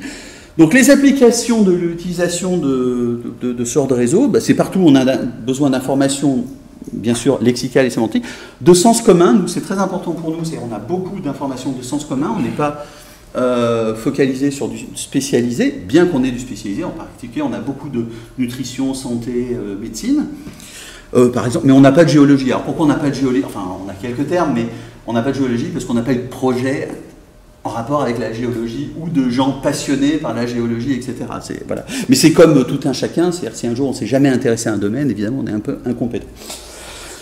Euh, des cas réels euh, d'application. Alors par exemple, on a eu euh, l'étude de rapport en analyse, pardon, en imagerie médicale Donc on analyse les rapports de l'imagerie médicale, donc ça on a eu un doctorant là-dessus, donc ce qui explique pourquoi on a beaucoup de, termes.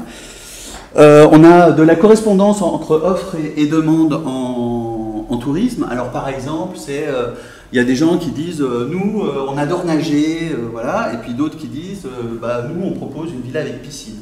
Ben, il faut que le système fasse le lien, la correspondance entre des gens qui aiment bien nager et villa avec piscine. C'est-à-dire qu'on va au-delà évidemment du, de la correspondance par mots-clés. Euh, la gestion de débat, alors c'est-à-dire pendant un débat, il y a des opérateurs de débat, alors ça ressemble un peu, c'est assez marrant, euh, ça ressemble un peu à des euh, contrôleurs de trafic aérien, mais là ils ont à raison des bouts de graphes et des machins, et l'idée c'est que le système va essayer de les assister pour mettre en rapport ce qu'ont dit certaines personnes et d'autres, voyez, avec des associations d'idées, etc., de manière à contrôler le débat ou le relancer, ou de, poser des questions pour confirmer telle chose qu'a dit une personne, etc. etc. Donc c'est une sorte de, tableau de bord, sauf que le de tableau de bord de gestion de débat, sauf qu'évidemment le système il doit avoir un peu de connaissances sémantiques, au moins générales, pour permettre de euh, fournir des suggestions intéressantes.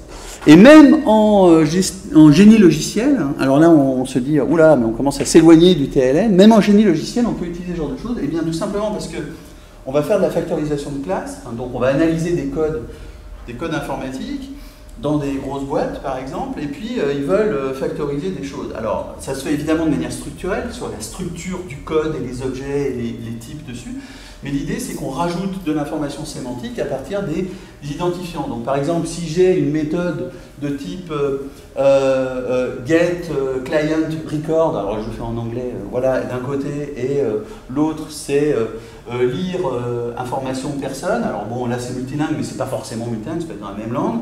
Et ben, l'idée, c'est d'avoir un peu de sémantique derrière pour dire ah oui, une un client, c'est une personne, record ou information, il y a des trucs. Est-ce que ces deux méthodes, qui par ailleurs structurellement se ressemblent, pourraient pas être finalement deux versions de la même chose Et on pourrait faire des choses comme ça.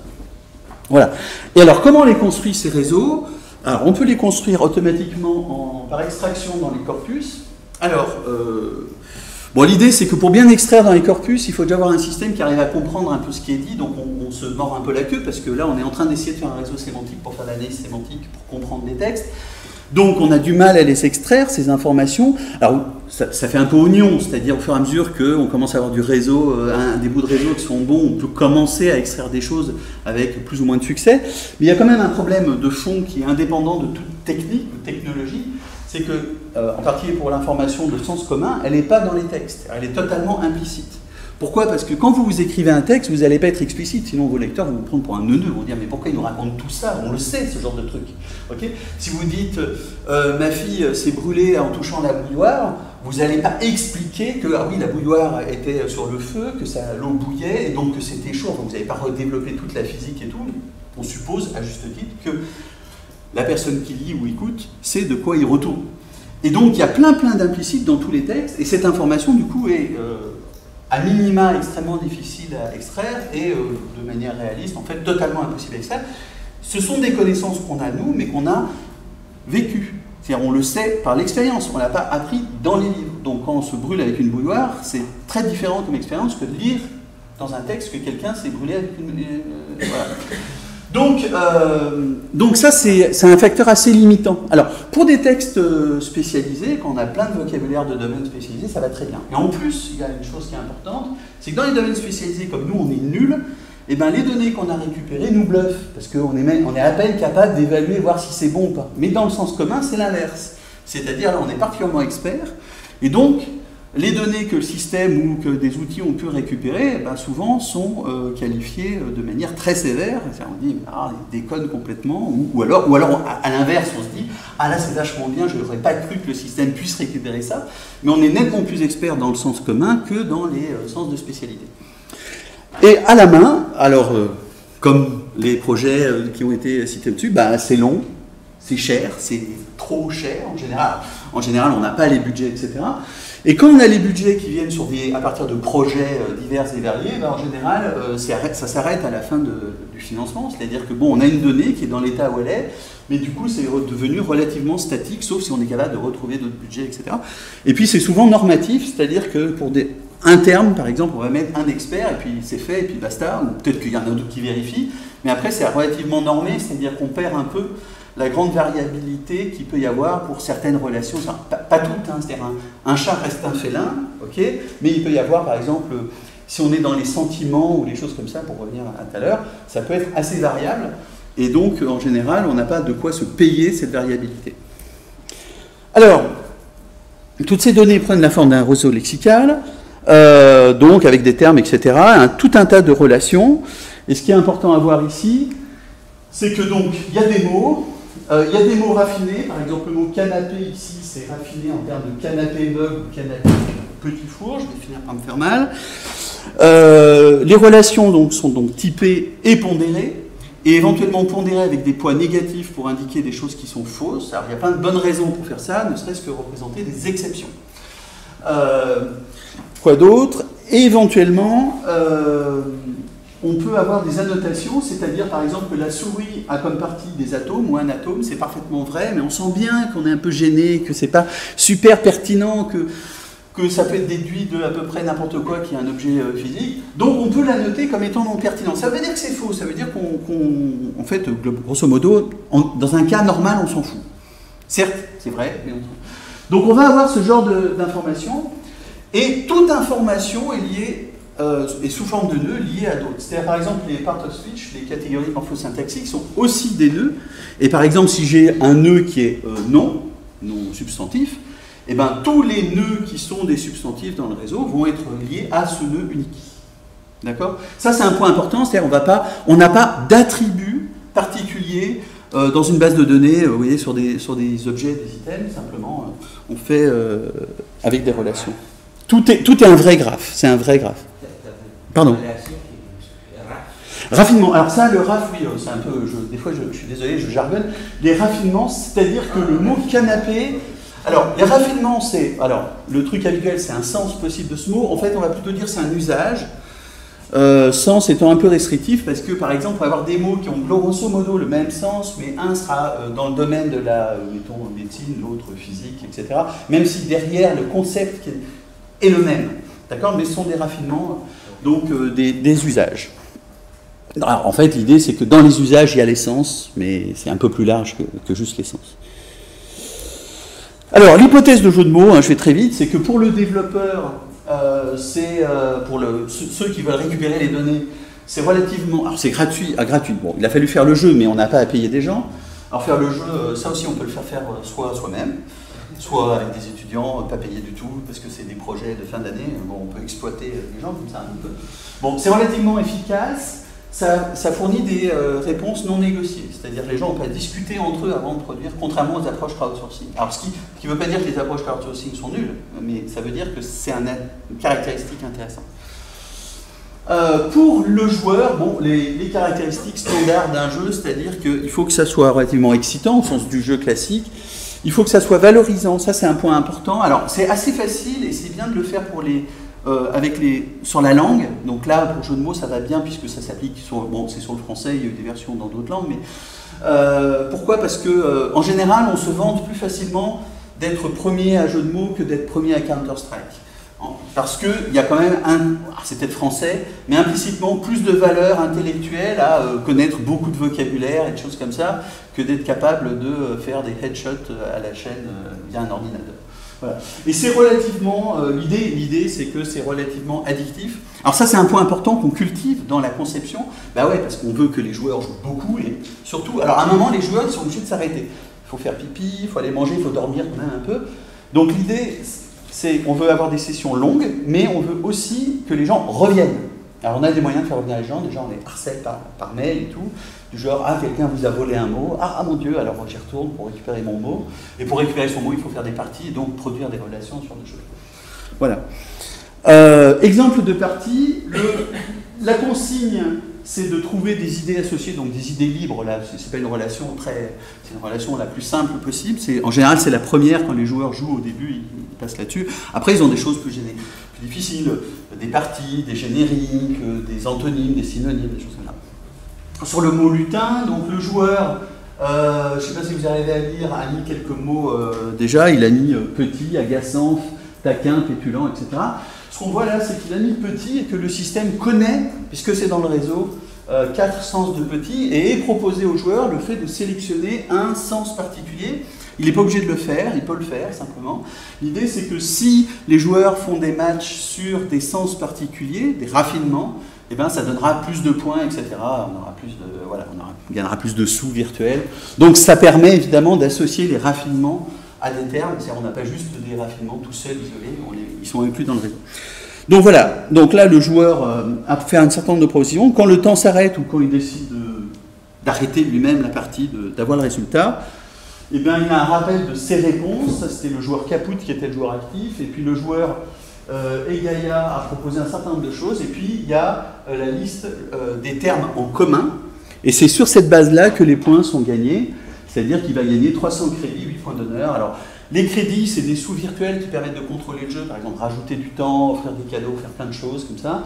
Et les points d'honneur, c'est juste par rapport à un classement de style honorifique, du genre à quel point vous êtes beau, honorable et vous avez contribué à la science, ce genre de choses.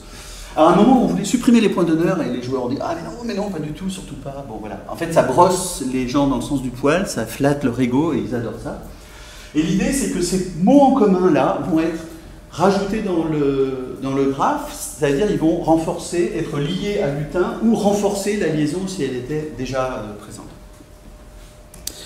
Donc le, le- le modèle d'interaction, c'est deux joueurs jouent sur la même partie, c'est-à-dire le même mot la même consigne, ok?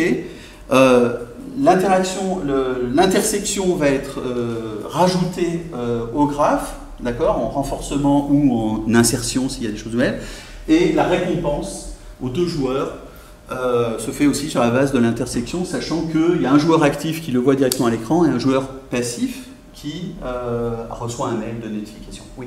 Et qu'est-ce qu'on fait des autres mots?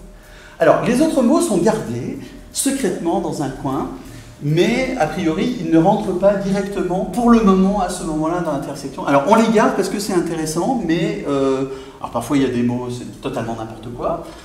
Euh, et euh, parfois il y en a qui sont très bien, simplement, il s'avère que l'autre joueur n'y a pas pensé.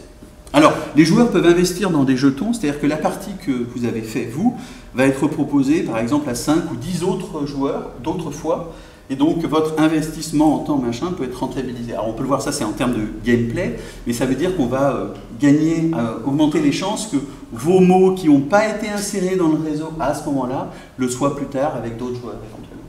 Mais comment savoir quels mots utiliser justement Quels sont les bons mots et les mauvais mots Alors, on ne sait pas.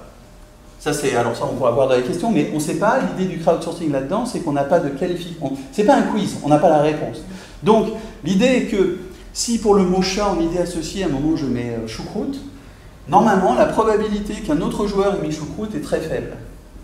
Donc, c'est pour ça qu'on fait l'intersection. Justement, pour avoir un filtrage minimum, et donc justement, ça m'amène au slide d'après. L'idée, c'est qu'on a un filtrage qui est minimum. Alors, on a non seulement les poids, alors, on mémorise aussi ce qui n'a pas été, euh, mais on ne le met pas dans le réseau, hein, ce qui n'a pas été euh, mis en commun. Et euh, l'idée, c'est qu'on ne peut pas filtrer moins que par paire. C'est-à-dire, je pourrais filtrer par triplet, mais ce serait plus sévère. C'est-à-dire trois fois, trois joueurs qui ont dit la même chose. Là, mais donc c'est itéré. C'est-à-dire, c'est seulement sur la base d'une partie.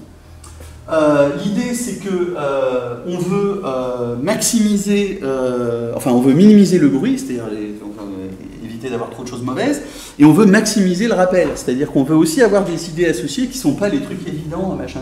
Par exemple, c'est intéressant pour moi que pour chat, j'ai pelote de laine, ce qui est une idée qui peut être associée, mais qui n'est sans doute pas parmi les premières idées qu'on associe à chat spontanément.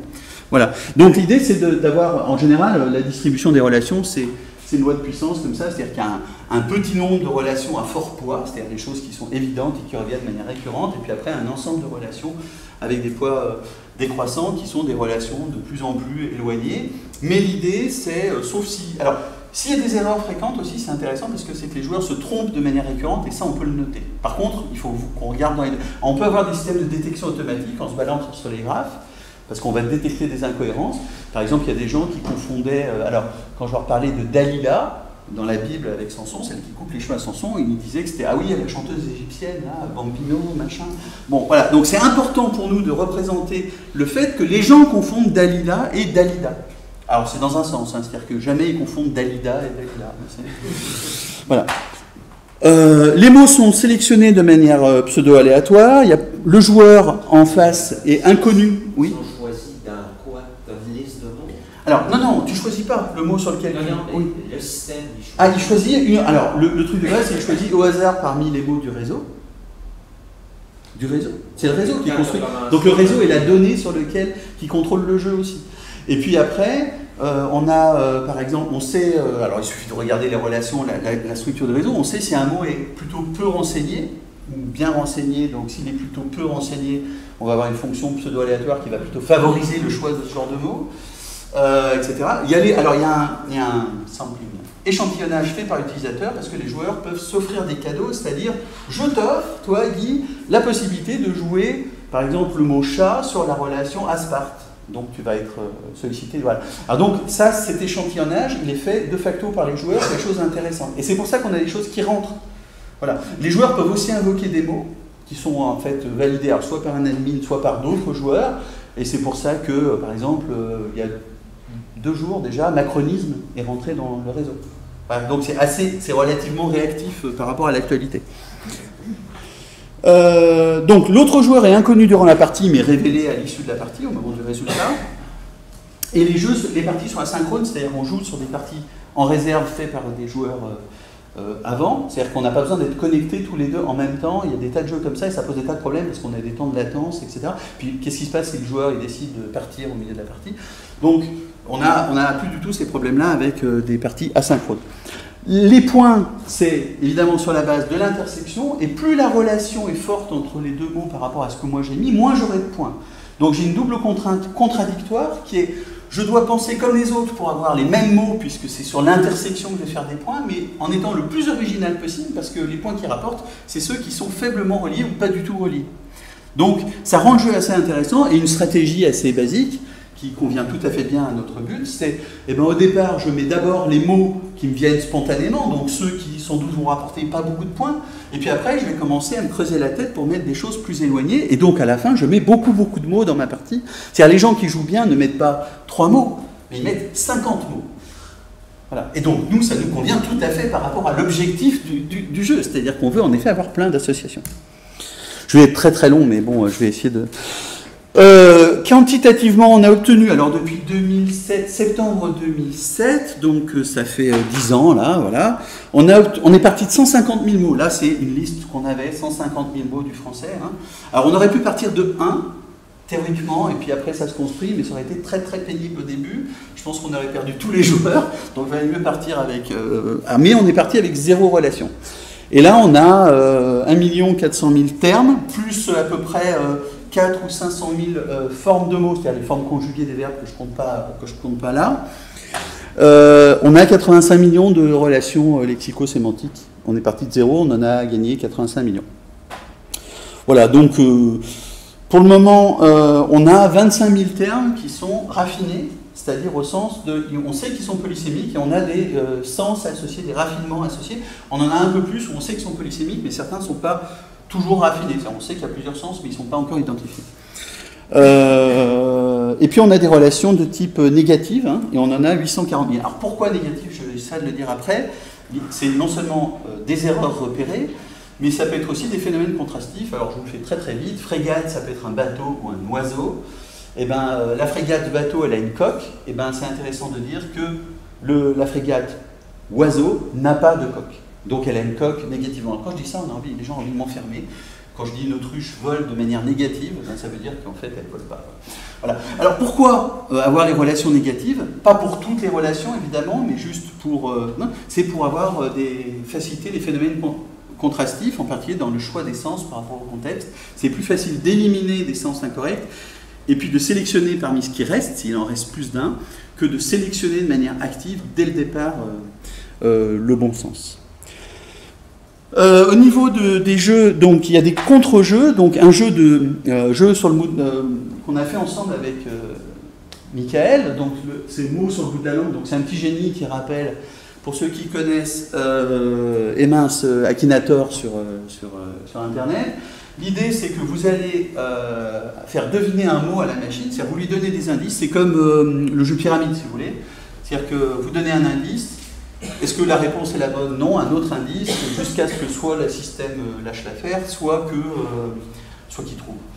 Donc par exemple, le, joueur a voulu faire donner coturne, donc il a donné chaussures, le système a répondu pied, puis après il a dit euh, théâtre, il a répondu clown, antiquité, il a répondu lieu, alors là on sentait que le système commençait à pédaler dans la et puis montante, et puis il a enfin répondu coturne, et le, le joueur extatique a dit oui, c'est ça, c'est coturne, et là c'est un cas d'échec où le, la personne voulait faire deviner garde de triage, et puis euh, à la fin, euh, après euh, le dernier indice, va marchandise, le système a lâché l'affaire. Alors l'idée, c'est que évidemment, non seulement ça permet d'évaluer le système, mais aussi le système apprend des indices. En fait, c'est un autre jeu qui permet d'enrichir le réseau. Tu joues avec la machine Non, c'est la machine qui devine.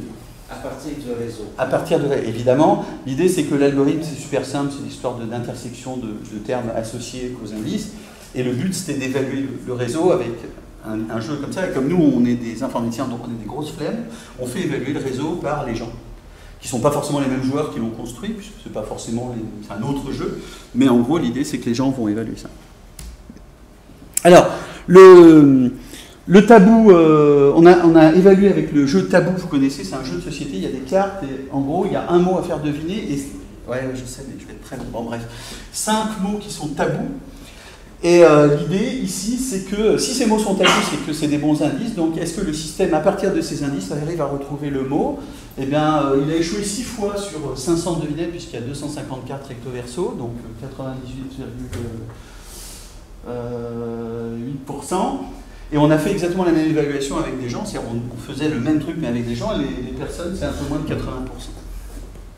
Et on l'a fait en domaine ouvert, c'est-à-dire on mémorise les parties que les gens font, c'est-à-dire font pour faire deviner la machine, et après, en- alors on était en milieu contrôlé, c'est-à-dire on a pris des gens et on l'a fait, je vais vous dire pourquoi, et on repropose la partie que d'autres personnes ont fait, voir si les êtres humains les trouvent, et donc la machine en milieu totalement ouvert, quel que soit le vocabulaire, c'est 80% de succès, et les êtres humains, 43%. Euh, pourquoi milieu contrôlé? Parce qu'on a été sympa avec les êtres humains. Dans genre, si je vous dis euh, par exemple euh, président américain, euh, Dallas, assassinat, bon, alors vous me dites Kennedy, mais vous auriez pu me dire JFK, John Fisher et Kennedy, toutes les variantes comme ça, et donc ça aurait été c'est assez difficile de savoir si la réponse donnée est une réponse attendue ou pas, c'est assez voilà. Donc c'est pour ça qu'on était en milieu contrôlé et tolérance, c'est-à-dire si la réponse donnée n'était pas strictement celle qu'on attendait mais allait, on comptait un point, mais on a 43%. Sinon on était sans doute à 25% ou je sais pas quoi. Voilà. Alors il y a d'autres jeux. euh, puisque j'étais là pour parler de Guap. Alors, il y a des jeux un peu de, un peu de tout. Alors, des jeux soit sur des modalités différentes, enfin, les modalités sont toujours différentes, soit sur des domaines différents. Alors, par exemple, on a un jeu de type émote sur les émotions, sentiments, dont j'en parle parce qu'il y a eu la question, c'est-à-dire qu'en fait, on balance un mot et on nous demande de sélectionner, euh, de choisir les émotions et sentiments qu'on associe spontanément au mot en question. Donc, on récupère tout un corpus de mots et de sentiments associés. Après, on a différents types de questions. On a la même chose sur les couleurs et on a un truc sur euh, euh, Like It, qui est un truc de. Alors euh, là, c'est de polarité, c'est est-ce que j'aime ou j'aime pas? Positif ou négatif. Alors par exemple, spontanément, est-ce que vous aimez aller chez le dentiste et vous cliquez sur le ballon vert si vous aimez, jaune si ça vous laisse froid et euh, rouge si vous n'aimez pas? Et donc l'idée c'est qu'il y a une relance immédiate, mais on a le résultat. C'est un peu petit malheureusement là, mais en fait euh, on a répondu non, comme euh, je sais pas quoi, 92% des personnes ont répondu non à est-ce qu'on aime aller chez le dentiste? Il y a 8% qui soit s'en foutent, soit aiment ça, bon, c'est bizarre.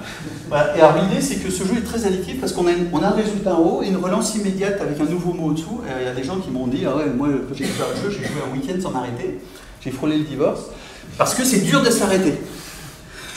Euh, ça marcherait nettement moins bien si on avait juste le résultat et du genre euh, rejouer. Ça marche moins bien parce que quand on a un rejoué, on n'a pas envie de cliquer. Enfin, et que là on a vraiment envie d'aller aux toilettes, eh ben on va aux toilettes. Mais tant qu'il y a le mot qui apparaît tout de suite, c'est spontanément re- re- reproposé tout de suite, eh bien c'est addictif et on va plus aux toilettes. Si on va aux toilettes, est-ce que. Non, là, ça, non, mais en fait, là, ça s'arrête, ça s'arrête, mais si on a autre chose à faire. Alors, je, je passe des trucs parce que j'ai euh, plus que quelques minutes sur la polarisation. Alors, du coup, l'idée, c'est que en, en- en trois mois, euh, en trois mois, on a polarisé euh, 657 000 termes. Donc euh, euh, là, maintenant, ça fait à peu près, euh, ça a dû augmenter, mais c'est à peu près la moitié du nombre de, des mots qui sont dans le, réseau en trois mois. C'était alors le, point important du coup je fais une petite digression c'est en fait pourquoi j'ai fait ce jeu c'est parce que des collègues euh, Michael le connaît voilà avaient fait un lexique de sentiments à trois linguistes de manière classique et justement en trois mois durant un été sur 2400 termes où chaque euh, personne disait est-ce que c'est positif négatif ou neutre pour chacun des 2400 termes et moi j'ai dit j'ai failli me fâcher enfin elles ont failli se fâcher j'ai dit, mais ça, c'est un truc, c'est du crowdsourcing. C'est débile de le faire de manière classique, linguistique à la main. En crowdsourcing, on aura mis 10 fois plus de votes et vachement de trucs. Et donc, dans la même durée, 2400, 3 votes fois 2400 à la main. Et puis, euh, donc là, euh, le nombre de votes, euh, enfin voilà, vous avez les chiffres, c'est sans commune mesure, etc. Et les données sont bien plus fiables, en plus. Puisque répondu par plein de personnes à la fois. Dans le projet jeu de mots, il y a un aspect crowdsourcing, je passe, j'ai plus le temps.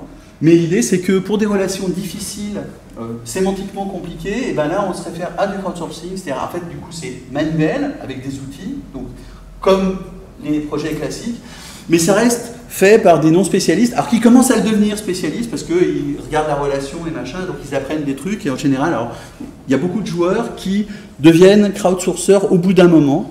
Ils en ont marre de jouer, ce qui est normal, et puis voilà. Euh, voilà, voilà. On a des systèmes d'inférence, donc je passe aussi, mais l'idée c'est que euh, c'est comme ça qu'on arrive à avoir des bots qui proposent des parties quand il n'y a pas de partie en stock pour les joueurs, puisque j'ai dit que quand on jouait sur une partie, on prenait une partie en stock. Donc quelqu'un a sûrement la question qui est oui, mais la première partie, elle vient comment? Alors la toute première première, un, voilà, il y a des gens qui ont bootstrappé, mais maintenant s'il y a un nouveau mot qui est associé à deux trois choses, eh bien il y a des bots qui peuvent faire des inférences et donc proposer une partie un joueur. Bien sûr, le joueur euh, passif n'est pas un humain, mais c'est pas grave. On fait intersection et puis maintenant, il y a un humain qui a fait la partie, elle est en stock et d'autres humains peuvent se confronter entre eux. Je passe, je passe. On peut faire de- des tas de trucs de type co-occurrence, alors sur des textes, machin, et puis après euh, donc euh, faire des systèmes d'inférence et par exemple du deep learning là-dessus pour proposer, alors soit selon les niveaux de sûreté, soit renseigner le réseau directement, ça on le fait assez peu parce qu'on n'est jamais trop sûr, mais on peut toujours proposer des contributions en attente qui seront ou non validées, soit par l'intermédiaire des jeux, soit par l'intermédiaire des gens humains qui font le crowdsourcing. Les raffinements, j'en ai parlé, hein, avocat, avocat le fruit, avocat justice. Donc on met des gloses pour euh, allumer le sens correct chez euh, le, chez le locuteur.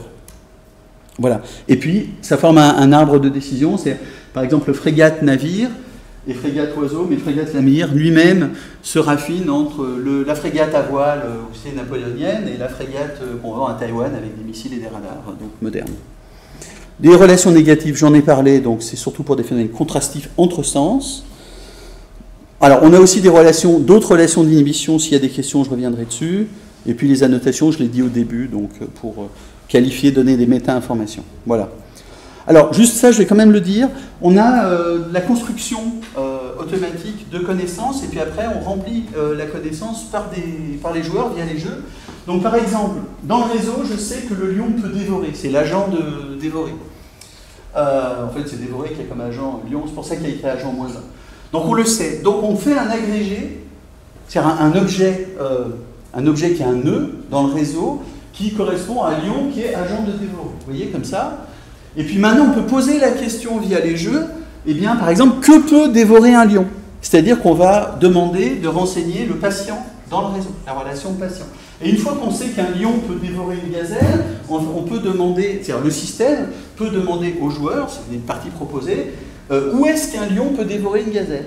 Ou de quelle manière un lion peut dévorer une gazelle? C'est-à-dire qu'on construit, on agrège et on construit de la connaissance petit à petit.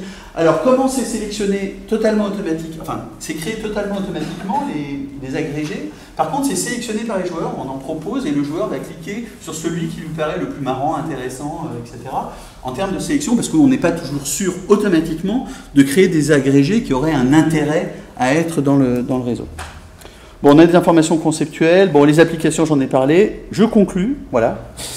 Euh, on peut créer des, ressources lexicales donc par WAP si ces données ne sont pas trop spécialisées, au sens de ça ne fait pas référence à une théorie linguistique très compliquée et inconnue du locuteur normal.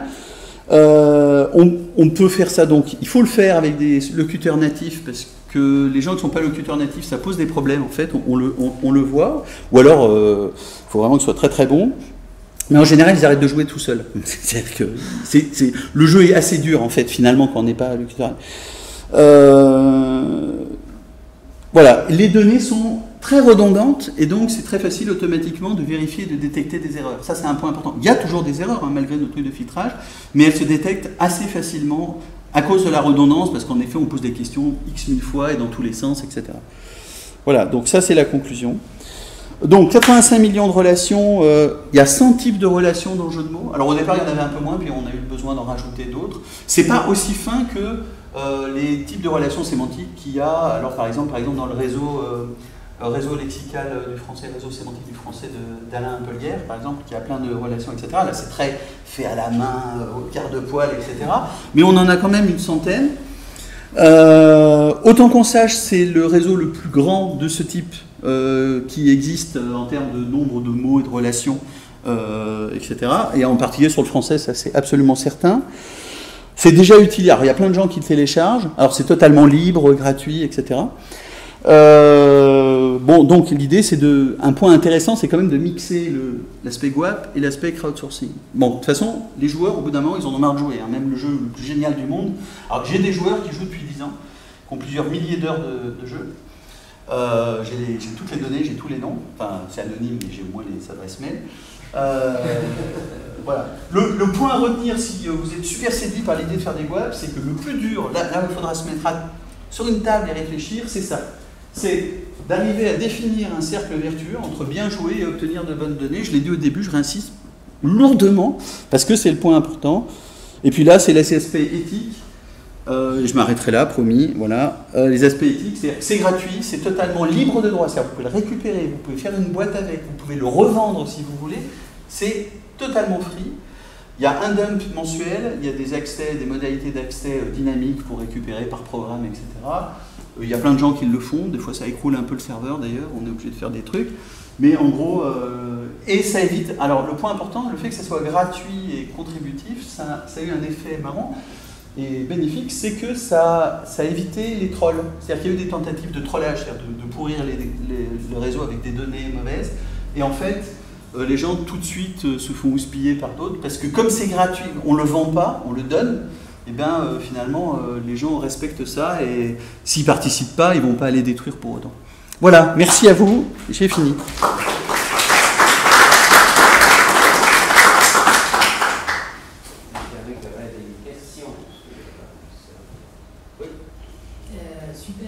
Bon, merci. Comme euh, application, comme idée pour récolter des données. Une petite question, euh, il y a une pression du temps? Oui, dans le jeu de base, le jeu de mots de base, il y a une pression du temps, c'est on a une minute au départ. Euh, on peut acheter du temps, c'est on a des crédits, donc on peut acheter, acheter des bonus de temps si on, si on veut. Pourquoi, vous avez choisi de mettre... Alors pourquoi? L'idée, c'était qu'au départ, on voulait mettre une pression de temps pour obtenir des réponses spontanées. Euh, d'autres, voilà, donc c'était surtout ça. C'était bon, c'était un peu, un peu dans la certaine philosophie d'approche psycholinguistique, on demande de répondre spontanément à des trucs, etc. Euh, ça, alors ça rajoute du fun au jeu. Alors il n'y a qu'une personne un jour qui m'a dit j'adore votre jeu mais je ne jouerai pas parce que le 30 ça me stresse. Il n'y a qu'une personne qui m'a dit ça, donc euh, je conçois que ça puisse arriver.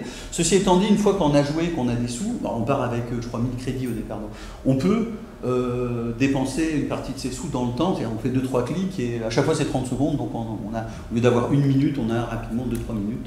Voilà, il y a des gens qui, il y a des gens qui font ça. Hein, il y a un point important aussi, c'est que on gagne des sous. Alors il y a les points d'honneur d'une part, mais on gagne des sous. L'idée de dans le jeu, c'est de euh, c'est de trouver des tas de, dans la modélisation du jeu, des tas de choses à dépenser de manière à créer une famine pour les, au niveau des sous. C'est-à-dire il faut que les joueurs, ils aient jamais trop de sous. Alors ça c'est raté, il y en a qui ont quelques millions de crédits, bon, euh, de façon à jouer. Pour gagner des sous, je dois jouer. Et euh, je dois dépenser des sous pour jouer bien. Vous voyez le, cercle Donc, du coup, je joue encore plus. Voilà. Il y avait une autre question. Enfin, pardon. Par rapport à oui. Euh, comment, qu'est-ce que vous avez choisi comme terme émotionnel relié au...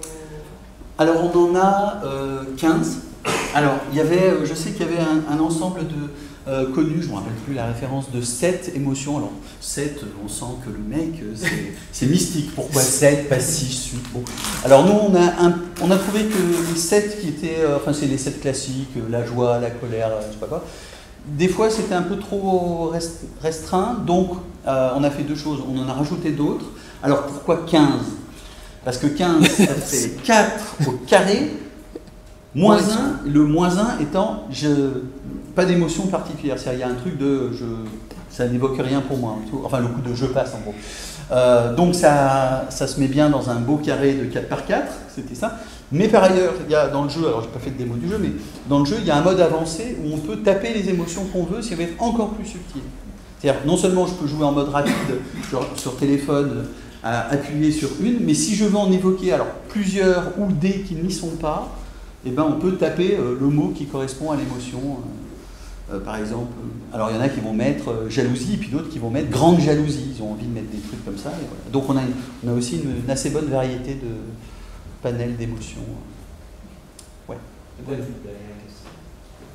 Euh, quand il y a une partie, et, euh, il y a un joueur contre un autre joueur, et c'est que l'intersection qui sert à alimenter le réseau.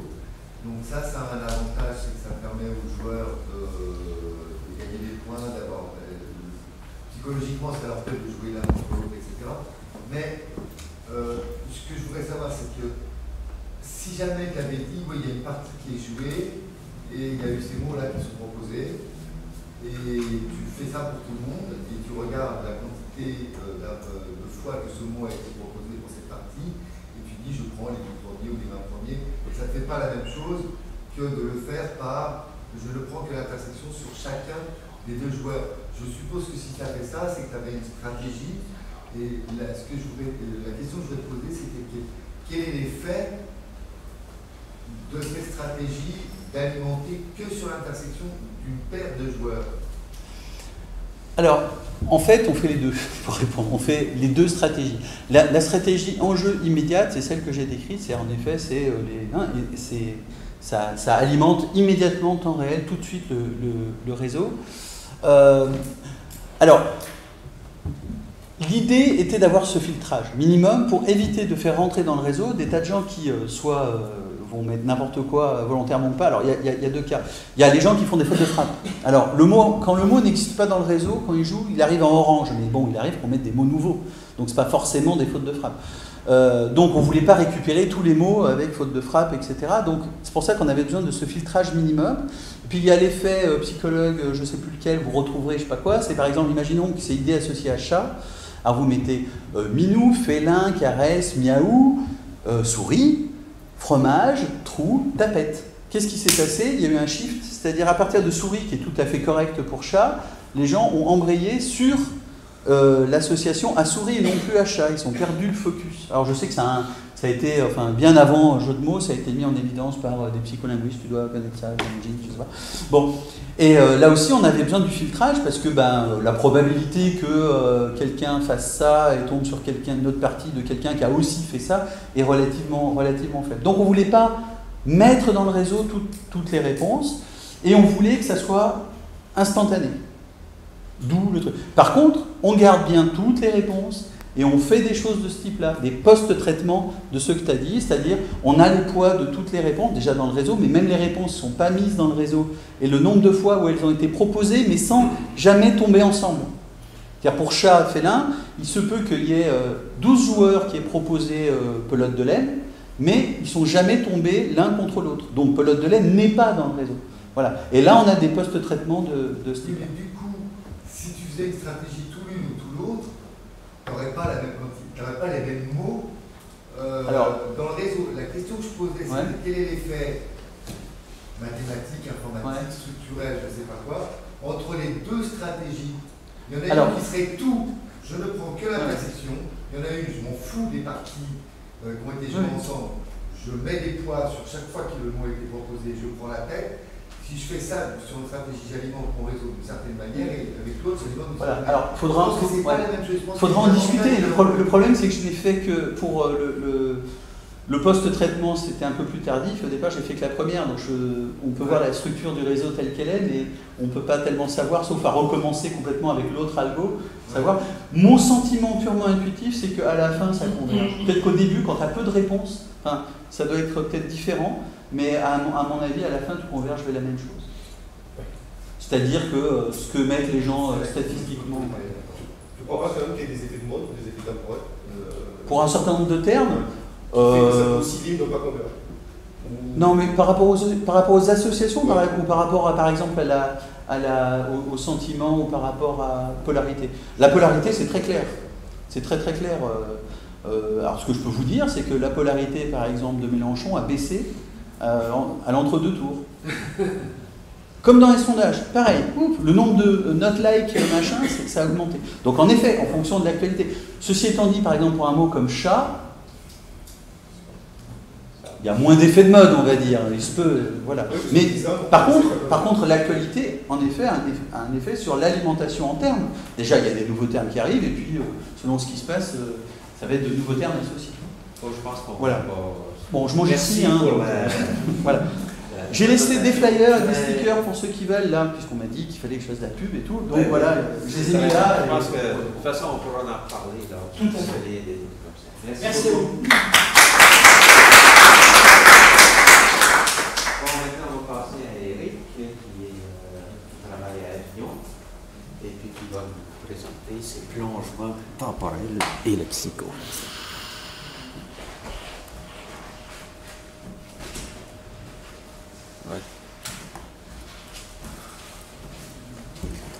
Oui, donc, bonjour, merci. Alors ça va être euh, un complément. Là, on, veut que ce soit la machine qui joue euh, presque toute seule. Et, par contre, c'est sur fond blanc. Euh, c'est un travail de, Donc on en est trois à travailler sur ça. Donc Cassandre Olivier, c'est une statisticienne, elle est juste le, fini son DUT STID. Mathias est un, master d'informatique et, moi-même, et on, fait, et, ben, on s'intéresse au festival. Alors, pour une courte introduction, on travaille sur les données de, de microblog, donc les tweets. Euh, et on va faire de, on, va partir de, de, lexiques prédéfinis et là on va essayer de relier les éléments de ce lexique par plongement. Donc on va essayer de la relier euh, on, a, un lexique donné Et euh, on, va euh, chercher le réseau euh, qui, qu'on, peut, qu'on peut leur associer. Donc pour vous situer un petit peu les, la, chaîne, le, point de, départ, c'est un, projet où on essaye de comprendre les publics des festivals. Ce sont des phénomènes massifs et périodiques qui reviennent à chaque fois les mêmes années. Donc on a une temporalité à suivre. Euh, ces publics, ben, on les étudie essentiellement avec des questionnaires, donc d'où on, a, on travaille avec un partenaire d'enquête sur ça. Euh, et euh, de ces questionnaires, on en fait des analyses sociologiques. Et on voudrait aussi, on, voudrait ces analyses sociologiques les, plonger, les mettre, les, confronter à tout ce qu'on recueille sur réseaux sociaux, donc les microblogs. On, on, travaille aussi sur les images, mais là je parle que de, que de contenu texte. Et, euh, et puis, bon, bon, voilà, pour lorsqu'on essaye de. Donc, l'analyse des questionnaires se fait à la main par un sociologue sur un échantillon contrôlé, réduit, recodé à la main. Donc, ça, ça marche. Euh, quand on a besoin de faire de recodage sur des larges masses de données, c'est là où on aura besoin d'extraire quelque part un réseau sémantique. C'est à peu près, c'est à peu près la, ce sur quoi travaille euh, Sylaps pour dans toutes les questions de recodage. Alors, je vous donne euh, un exemple de, lexique produit par euh, les sociologues. Donc, euh, ils, prennent un questionnaire a, qui a été passé sur un public de festival et dans ce questionnaire, il y a des réponses ouvertes et il recode les questions manuellement avec un lexique de, cette forme. Et à chaque fois, il coche si la question englobe un de ces termes ou un terme proche. Donc ça, c'est fait manuellement par un sociologue. Alors, un, lexique comme ça, qu'on essaye de le plonger euh, euh, sur, un corpus de, tweets, de microblogs, eh on a très peu d'occurrences. Ce sont des termes qui sont très très spécifiques. Donc, on voit que le sociologue, il fait son travail, il a, les, associations, ils vont assez loin. Donc on peut partir sur des lexiques qui sont euh, plus larges. Euh, donc ça c'est, euh, on, a, on partie des sociologues, on a, on, a, on étendu leur lexique à partir de Wikipédia avec le réseau Dibipédia et on essaye d'aller le plus loin possible. Et l'avantage de, ça, de, de Dibipédia, c'est qu'on a des catégories dans lesquelles on peut rentrer ces mots. Mais euh, malgré ça, on rate énormément de, choses quand on revient au niveau du texte. Donc voilà la, problématique. On, parle, on parle d'un lexique et on, veut repérer, relier ces mots entre eux d'après un corpus de données. Alors je vais euh, attaquer ici, euh, donc on, va essayer de les relier selon deux... Euh, D'abord je, vais présenter avec quoi, avec quoi est-ce qu'on travaille. Alors je vais aller très rapidement sur, le 2, mais c'est surtout pour vous pointer que c'est une technologie qui est très, accessible actuellement. Et, et après je vais m'attarder beaucoup plus sur les plongements eux-mêmes. Donc l'intérêt, là on a certainement travaillé avec les, tweets, parce que, euh, bon, il y, a, un petit peu de contenu textuel dans, dans, le tweet, mais ce qui nous intéresse le plus, c'est la temporalité. On veut suivre des phénomènes qui sont récurrents. Donc il y a un phénomène massif sur, sur Twitter, et puis il y a surtout de pouvoir associer une date à, un texte, et d'avoir comme ça des, des flux euh, euh, que l'on peut écouter au cours, au cours du temps. Donc on a construit, c'est un corpus qui, s'étale sur euh, 18 mois, euh, en recueillant tout ce qui était euh, microblocs qui parlait d'un, tout ce qui était tweets qui parlait d'un festival ou qui parlait d'une ville dans laquelle se produisait un festival. Donc ça fait un corpus assez massif et surtout avec des éléments qui sont, datés et euh, il, y a il, y a quand même un, utilisateur, donc des, auteurs de ces textes. Quand on travaille sur un corpus comme ça, donc euh, il y a une dizaine d'années c'était un peu impressionnant. Maintenant c'est des infrastructures qui sont, qui sont assez simples, donc on peut mettre euh, un, technicien peut facilement manipuler ça. Donc si euh, ça c'est un, un, on n'a pas besoin d'un grand logiciel de, statistiques payant. Ça c'est une infrastructure qui est 100% libre, GPL, et qu'on peut facilement facilement déployer. Donc si jamais il y a des intérêts sur ça, c'est donc tout, se fait sur un, travail, sur des serveurs en ligne, tout ça, ça s'installe facilement sur, le cloud. Mais ce qui, euh, notre, juste pour fixer les idées, qu'est-ce qu'on qu qu va chercher nous comme réseau sémantique Et en, fait, on va pas voir. Euh, la, première idée, euh, c'est plutôt des images comme ça. On va essayer de faire des projections dans lesquelles on va rapprocher les mots similaires. Mais on ne va pas arriver, on ne va pas aller jusqu'à catégoriser le lien qu'il y a entre ces mots. On veut déjà rechercher les associations, les proximités. Donc notre imaginaire, c'est plutôt l'imaginaire de, cartes comme ça, où on projette les, euh, mots sur, sur, euh, sur, un plan ou sur un espace beaucoup plus réduit. Ou alors il s'agit de, de, classification hiérarchique où on essaye de rapprocher d'abord les plus similaires et ainsi de suite pour reconstruire à peu près automatiquement une, une sorte de taxonomie avec des emboîtements de classes. La différence entre ces, ces deux choses, c'est que quand on est sur des, ces types de projections, on peut plutôt interpréter les oppositions, les écarts, les distances, mais on peut difficilement interpréter ce qui est vraiment proche, ça peut être un effet de projection. Ici, on peut interpréter plutôt les proximités. Euh, par contre, il ne faut pas trop se poser la tête sur les, euh, les rapprochements des métaclasses, des superclasses au-dessus. C'est quoi les points les, les, là, points de... les points représentent des mots, du lexique. Les axes et ici, les, alors les axes, c'est la machine qui essaie de les trouver, trouver la projection de, de les séparer. Pour, pour les séparer.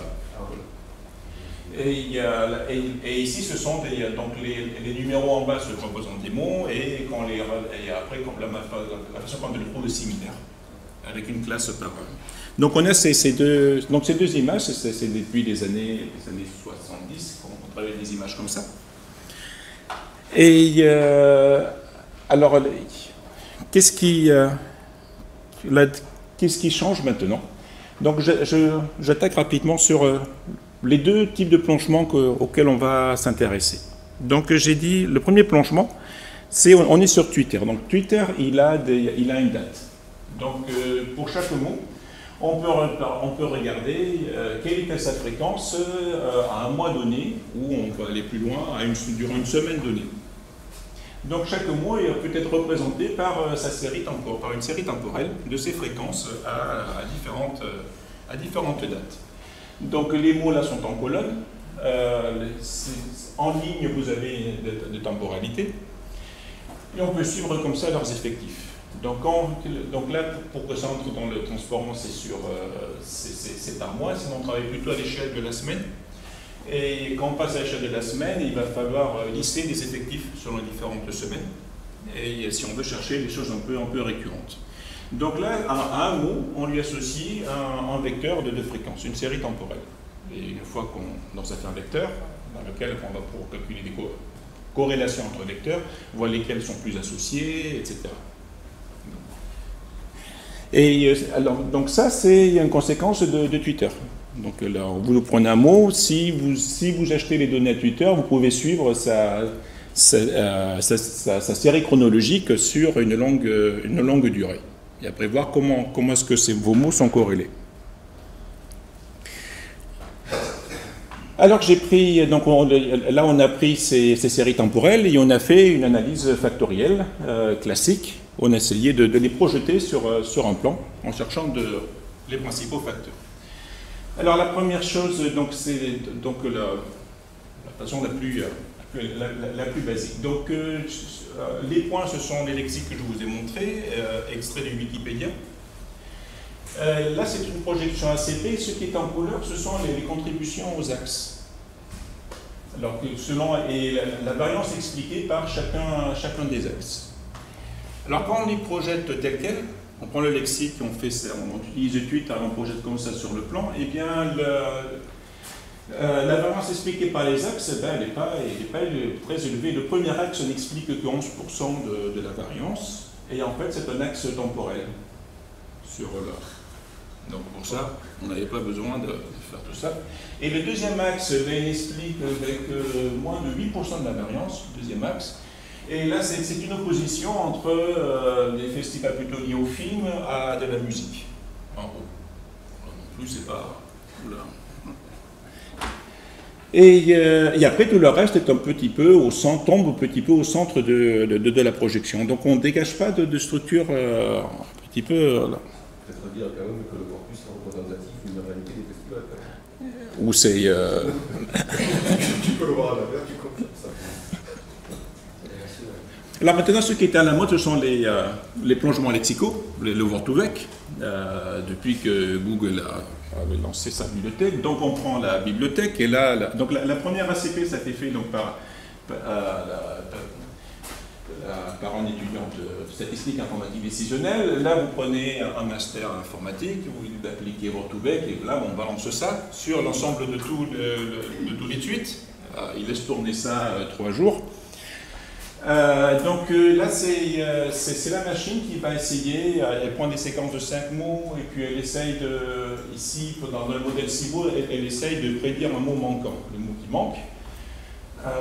et si vous avez vraiment beaucoup, beaucoup, beaucoup de données, vous pouvez faire même le contraire, on fait un modèle de skipgram, c'est-à-dire vous prenez un mot et vous essayez de prédire les 5 mots qui sont autour. Ça, c'est selon si vous avez vraiment beaucoup de données. Dans notre cas, avec, euh, on a 70 millions de microblocs, ça, ça, limite plutôt au CIBO. Euh, si on veut passer à un modèle de Skipgram, c'est plutôt toute la base de Twitter qu'il nous, qui nous faudrait. Et, et, du coup, là, c'est la, la, machine qui va essayer de trouver des vecteurs représentant les mots. Donc là encore, chaque mot va être représenté par par un vecteur de coordonnées alors c'est la machine qui le charge. Si vous relancez la machine deux fois, elle ne va pas trouver les mêmes vecteurs. Non. Mais enfin, elle essaie de les situer pour voir, pour, de manière à ce que deux mots qui, ont, euh, qui, apparaissent souvent dans le même contexte aient des vecteurs qui soient similaires. Donc là, c'est euh, similarité mais au sens de, de, de, de la, d'un cosinus classique entre deux vecteurs. Et là, par exemple, euh, eh bien, Berlin s'est retrouvé euh, plutôt associé euh, au théâtre. Ouais, pourtant, moi, je pourrais plutôt penser au festival du film Les ours de Berlin. parti sur le théâtre. Donc ça, ce sont les, cette méthode qui essaye automatiquement de trouver, d'après les contextes, des, des similarités entre, entre nous. avec plus ou moins de succès. Et ça, c'est d'après le, même corpus. On n'a pas, pas mis de ressources extérieures. On est sur le corpus d'études. Alors le Vortevec, on ne peut pas trop interpréter ce qui est éloigné, c'est vraiment de maximiser les proximités. Donc l'idée qu'on a derrière l'utilisation de Vortevec, c'est qu'après on, considère ces classifications hiérarchiques au niveau des proximités.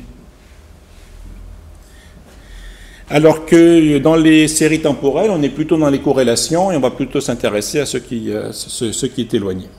Alors, euh, l'idée, c'est de, faire à l'ancienne, c'est de combiner les deux. Donc d'abord de, des mots, de, les rapprocher selon ces proximités sémantiques, soi-disant, avec euh, et euh, donc de sommer tous les mots qui sont similaires.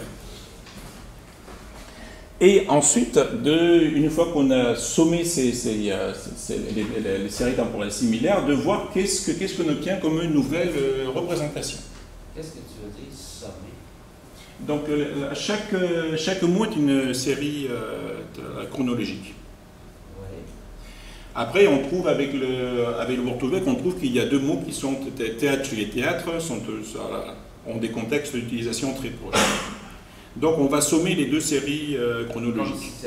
Comme si c'était un, seul mot. il, y a, un seuil de similarité euh, Parce qu'il peut être similaire, mais à plus ou moins un grand degré. Euh.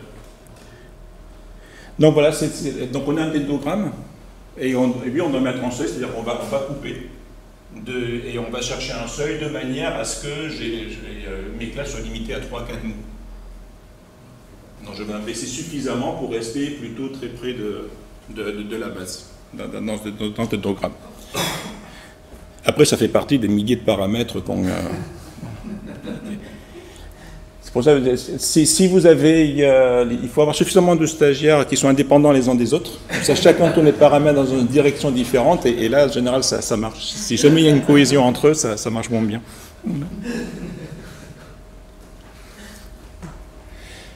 Et donc, voilà, dans deux côtés avec Montovec, on va essayer de rapprocher ce qui est similaire, mais, sans pour Alors, avant, euh, euh, j'avais fait des, choses comme ça, mais en utilisant un, réseau manuel et de le faire. Mais je n'ai pas de ressources spécifiques à mon corpus sur les festivals, donc on est passé par ce, ce Et, et, après, on va essayer donc de voir ce que la projection temporelle accrochée, ça donne. Alors l'image suivante est la même que la première que je vous ai montrée, sauf qu'on a rapproché ces vecteurs. D'accord? Euh, ça c'est pardon, ça c'est pour, pour, parler de l'additivité, ça c'est mon image. Donc c'est la même image, c'est la même réalité sur les festivals qu'avant.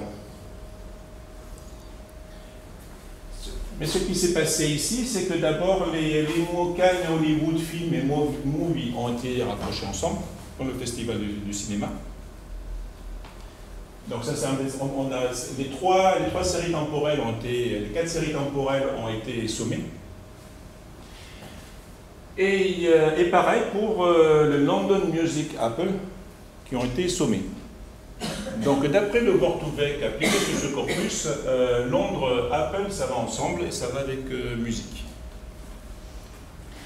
Et une fois qu'on a identifié ces, deux mots, eh bien, le fait de séparer ces, euh, deux classes du reste, eh ça explique 82% de la variance. Et après, on a quand même deux choses différentes. Donc, euh, là, c'est en vertical, la séparation entre les, euh, le Cannes et Londres, eh bien, ça, explique encore 8% de, la variance. Mais déjà, ces deux, choses sont à part. Donc, ce, qui s'est passé, eh il y a eu Apple qui a lancé un grande manifestation euh, sous couvert de festival pour lancer son, application musicale.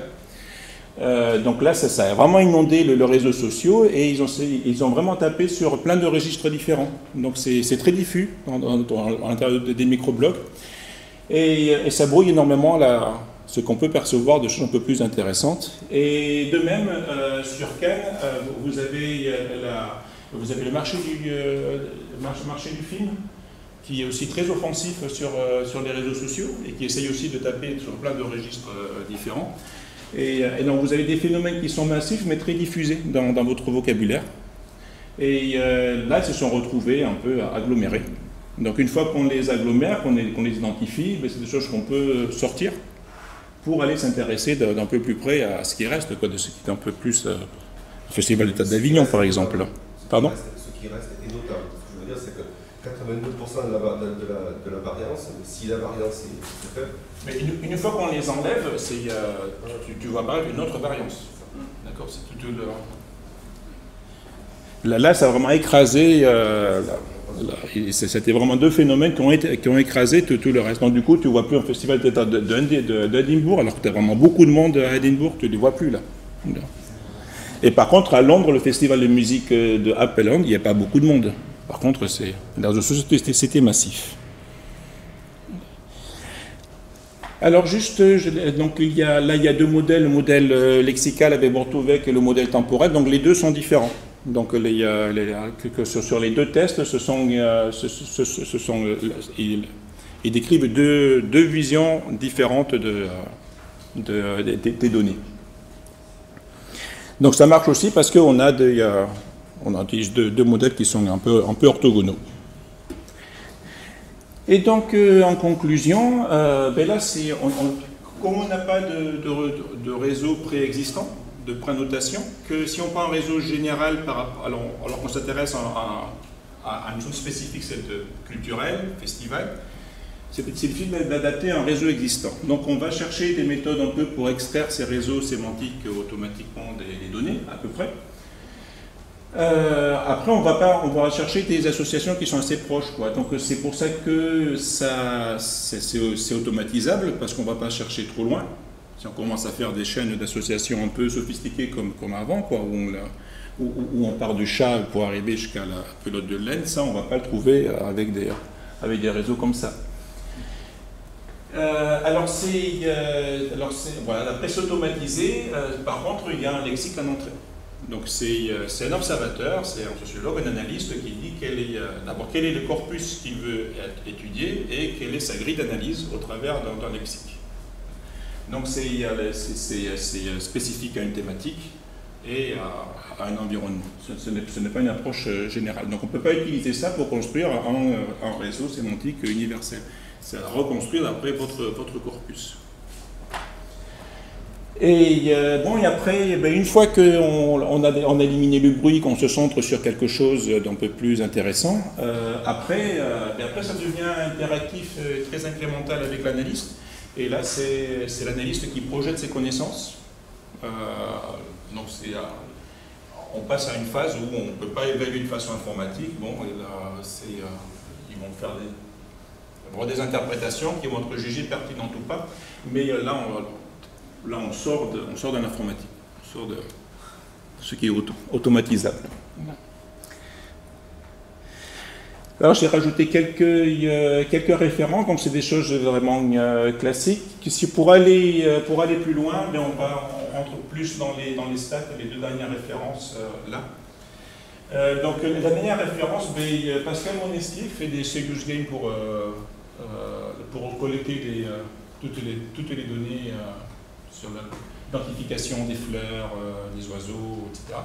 Donc, euh, euh, et donc là-dedans, on, doit, on doit commencer, on essaie de modéliser les, distributions des, observateurs, distribution des, mots, pour un peu les. Donc on, commence à, travailler plutôt avec des mélanges, soit des euh, généra- généralisations de modèles binomiaux, soit des, des mélanges de, de lois de poisson.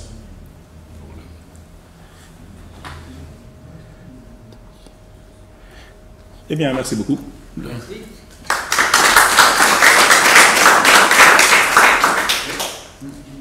Il y a plein de questions. mais, euh, dans la, le slide il y avait le tableau de similarité cosinus, alors, voilà, la chose que je ne comprends pas, pour moi, le cosinus, ça allait jusqu'à 1. Là, je vois une valeur supérieure à 1, alors je ne comprends pas ce que c'est. Il faudrait quelques éclaircissements. Oui. Ça peut pas être une similarité cosinus, ce truc. Mais, Ou alors, ou les chiffres sont faux, ou le titre est faux. Mais le cosinus, ça va entre moins 1 et 1. Donc là, comme on est sans doute dans un cadran positif, c'est entre 0 et 1. Donc je ne comprends pas pourquoi on a des valeurs. Mais euh, tu prends Bortovec, Oui, tu l'appliques au corpus. Et tu calcules la similarité avec le Portugais. Oui, mais ça n'est pas une similarité cosinus. Et, et il te donne Ce les scores. C'est que Work2Vec utilise la similarité cosinus pour faire ses calculs, mais à la fin, ça te donne des chiffres, tu Ça- mais donc ça, c'est pas la similarité cosinus. Cette valeur-là, c'est autre chose qui est calculée à l'aide de. Mais en fait, ils essaient de calculer une similarité cosinus et te donnent des valeurs supérieures à 1. Oui, alors ça, faut m'expliquer comment c'est possible. Ah ben c'est c'est la bibliothèque Word2Vec utilisée par tout le monde, euh, l'implémentation avec, euh, avec Python, et euh, comme ils font plein d'approximations, comme la, la précision n'est pas suffisamment longue dans leurs chiffres. Non, mais d'accord, mais dans ce cas-là, il pourrait, il pourrait sommer à 1, faire un max à 1, il disait, ouais, Ils n'ont pas la c'est- normalisation. Hein Ils n'ont pas la normalisation qui leur permet de. Les vecteurs sont pas normalisés. Ils font une similarité cosinus sans normaliser les vecteurs Ils ne doivent pas être normalisés comme Non, sincèrement, je comprends pas. Ou alors, il y a un gros Là, problème. là- là, ce qui est ce- la- le dépassement de 1, c'est juste à cause de la précision des floats. Non. Mais non, c'est pas possible, pas avec 0,2. Il y aurait du 0, 0, 0, 5 ou 6 0, et puis ça veut bien, mais pas avec. Là, on est à, on est à, à 2% de dé- Tu serais à 10, 10,5. Avec des cinq, de voilà. Et sur le- Il y a oui, mais des sur- 8%, sur la normalisée. il y a des 10%, Et un 0,6 encore pire, ça point Et puis après, là, partout, il y a des 0,8, 1,08 dans musique, là, il y a plein de musique. Non, soit, soit c'est pas une similarité cosinus qui a pu être utilisée au passage pour calculer ça. Voilà, ou enfin, il y a mais pour moi, c'est. Enfin, il faudra que j'aille lire à part avec le truc. Mais je- Alors, du coup, je- bon, il y avait d'autres questions. C'est. euh, Est-ce que. euh, donc, moi, je fais des réseaux lexicaux, et moi, ça m'intéresse grave d'avoir des vecteurs et puis faire ces trucs-là. Alors là, c'était. Comment. Est-ce que ce serait possible de. À partir d'un graphe, de concurrence, par exemple, de calculer du word to vec ou c'est vraiment compliqué C'est vraiment à partir des, du texte. Non, non, ça- euh, vraiment à partir du texte, c'est euh, euh, c'est- c'est- c'est violent. Hein. C'est c'est- c'est juste pour chaque mot. euh, soit tu, sur le fait de 5, tu t'enlèves un mot, tu essayes de prédire ce mot-là à partir des, des trois autres. Et tu, et tu demandes à la machine de disposer ses vecteurs comme elle peut pour, euh, pour, que deux mots qui sont complètement similaires, ben, ils aient deux vecteurs qui se ressemblent, avec la similarité cosinus de ce genre, avec des valeurs supérieures à 1.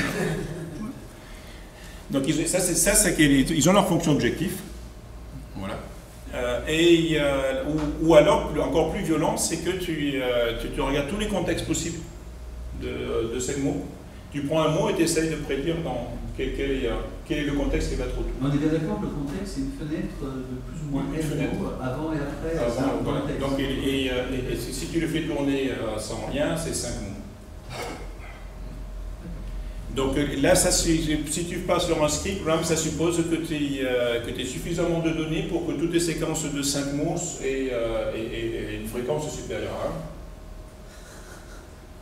Donc ça fait, un très, ça fait très gros comme... euh, Donc en général, on ne démarre pas avec un skip RAM et on est plutôt sur un, c'est sur un. Alors, si tu lances un skip RAM sur euh, des données qui ne sont pas assez faibles, et après il y a plein de zéros à gérer, il y a plein de smoothing qui. euh, enfin, ça, devient vraiment très, euh, très instable. le- le- Et, donc, tu, tu arrives à des choses qui sont magnifiques comme ça. Donc, mathématiquement, c'est, euh, incroyable, quoi. Mais tout le monde utilise ça. Bah euh, oui, je veux bien, mais je suis désolé, même si tout le monde utilise ça, pour moi, le cosinus, ça s'arrête à 1. Et donc ça me gêne un peu. Ça me, ouais, je suis très bien. Donc ça me gêne un peu, mais bon, euh, voilà. J'irai lire, j'irai sinon, il faut prendre Globe, euh, où c'est quand même plus propre. Mais qui est réputé moins performant. C'est c'est que c'est pas forcément moins performant y a des fois où c'était- on a eu meilleur résultat que là. Et Est-ce que vous avez expérimenté avec différents types de contextes, avec Word2Vec ou seulement avec les modèles classiques, avec les contextes linéaires? Non, parce que euh, oui, par, par rapport à la, la- donc euh, aussi dans la donc euh, justement on, on, on utilise Eclore pour faire euh, simplement du euh, euh, le- latent semantic indexing, la, la- vectoré. Et, euh, là, là- effectivement, ça n'a pas, a- on n'a pas réussi à automatiquement euh, is- isoler ça. Voilà. Donc, pour, alors, pourquoi est-ce que ça, ça- ça- Par contre, avec Glove, on, on arrive, à- on arrive pareil, et de façon, fa- façon plus propre. Et après, mais alors une fois qu'on a isolé ça, qu'on rentre dans des analyses plus fines, euh, là rapidement, c'est plutôt des choses simples qu'on fait. Parce qu'une fois qu'on a enlevé le bruit, ben, l'analyste, le sociologue peut directement interpréter les données. Et euh, il faut plutôt des choses qui, là, qui soient mathématiquement le plus stable possible, qui puissent faire des interprétations. quoi. Et, euh, Et tu pourrais pas reprendre tout ce que tu as fait en scrapant ces choses-là? Hein? Est-ce que tu peux pas Oui, oui, on, reprend tout ce que ça. tu as fait en éliminant tous Oui, ces oui, là, mais, voilà, mais, après ça devient plus, ça devient lisible quoi. Là, donc dis- disons là, euh, ici le Word2Vec de Google a marché pour enlever du bruit, mais pas forcément pour analyser. C'est ça que je voulais dire.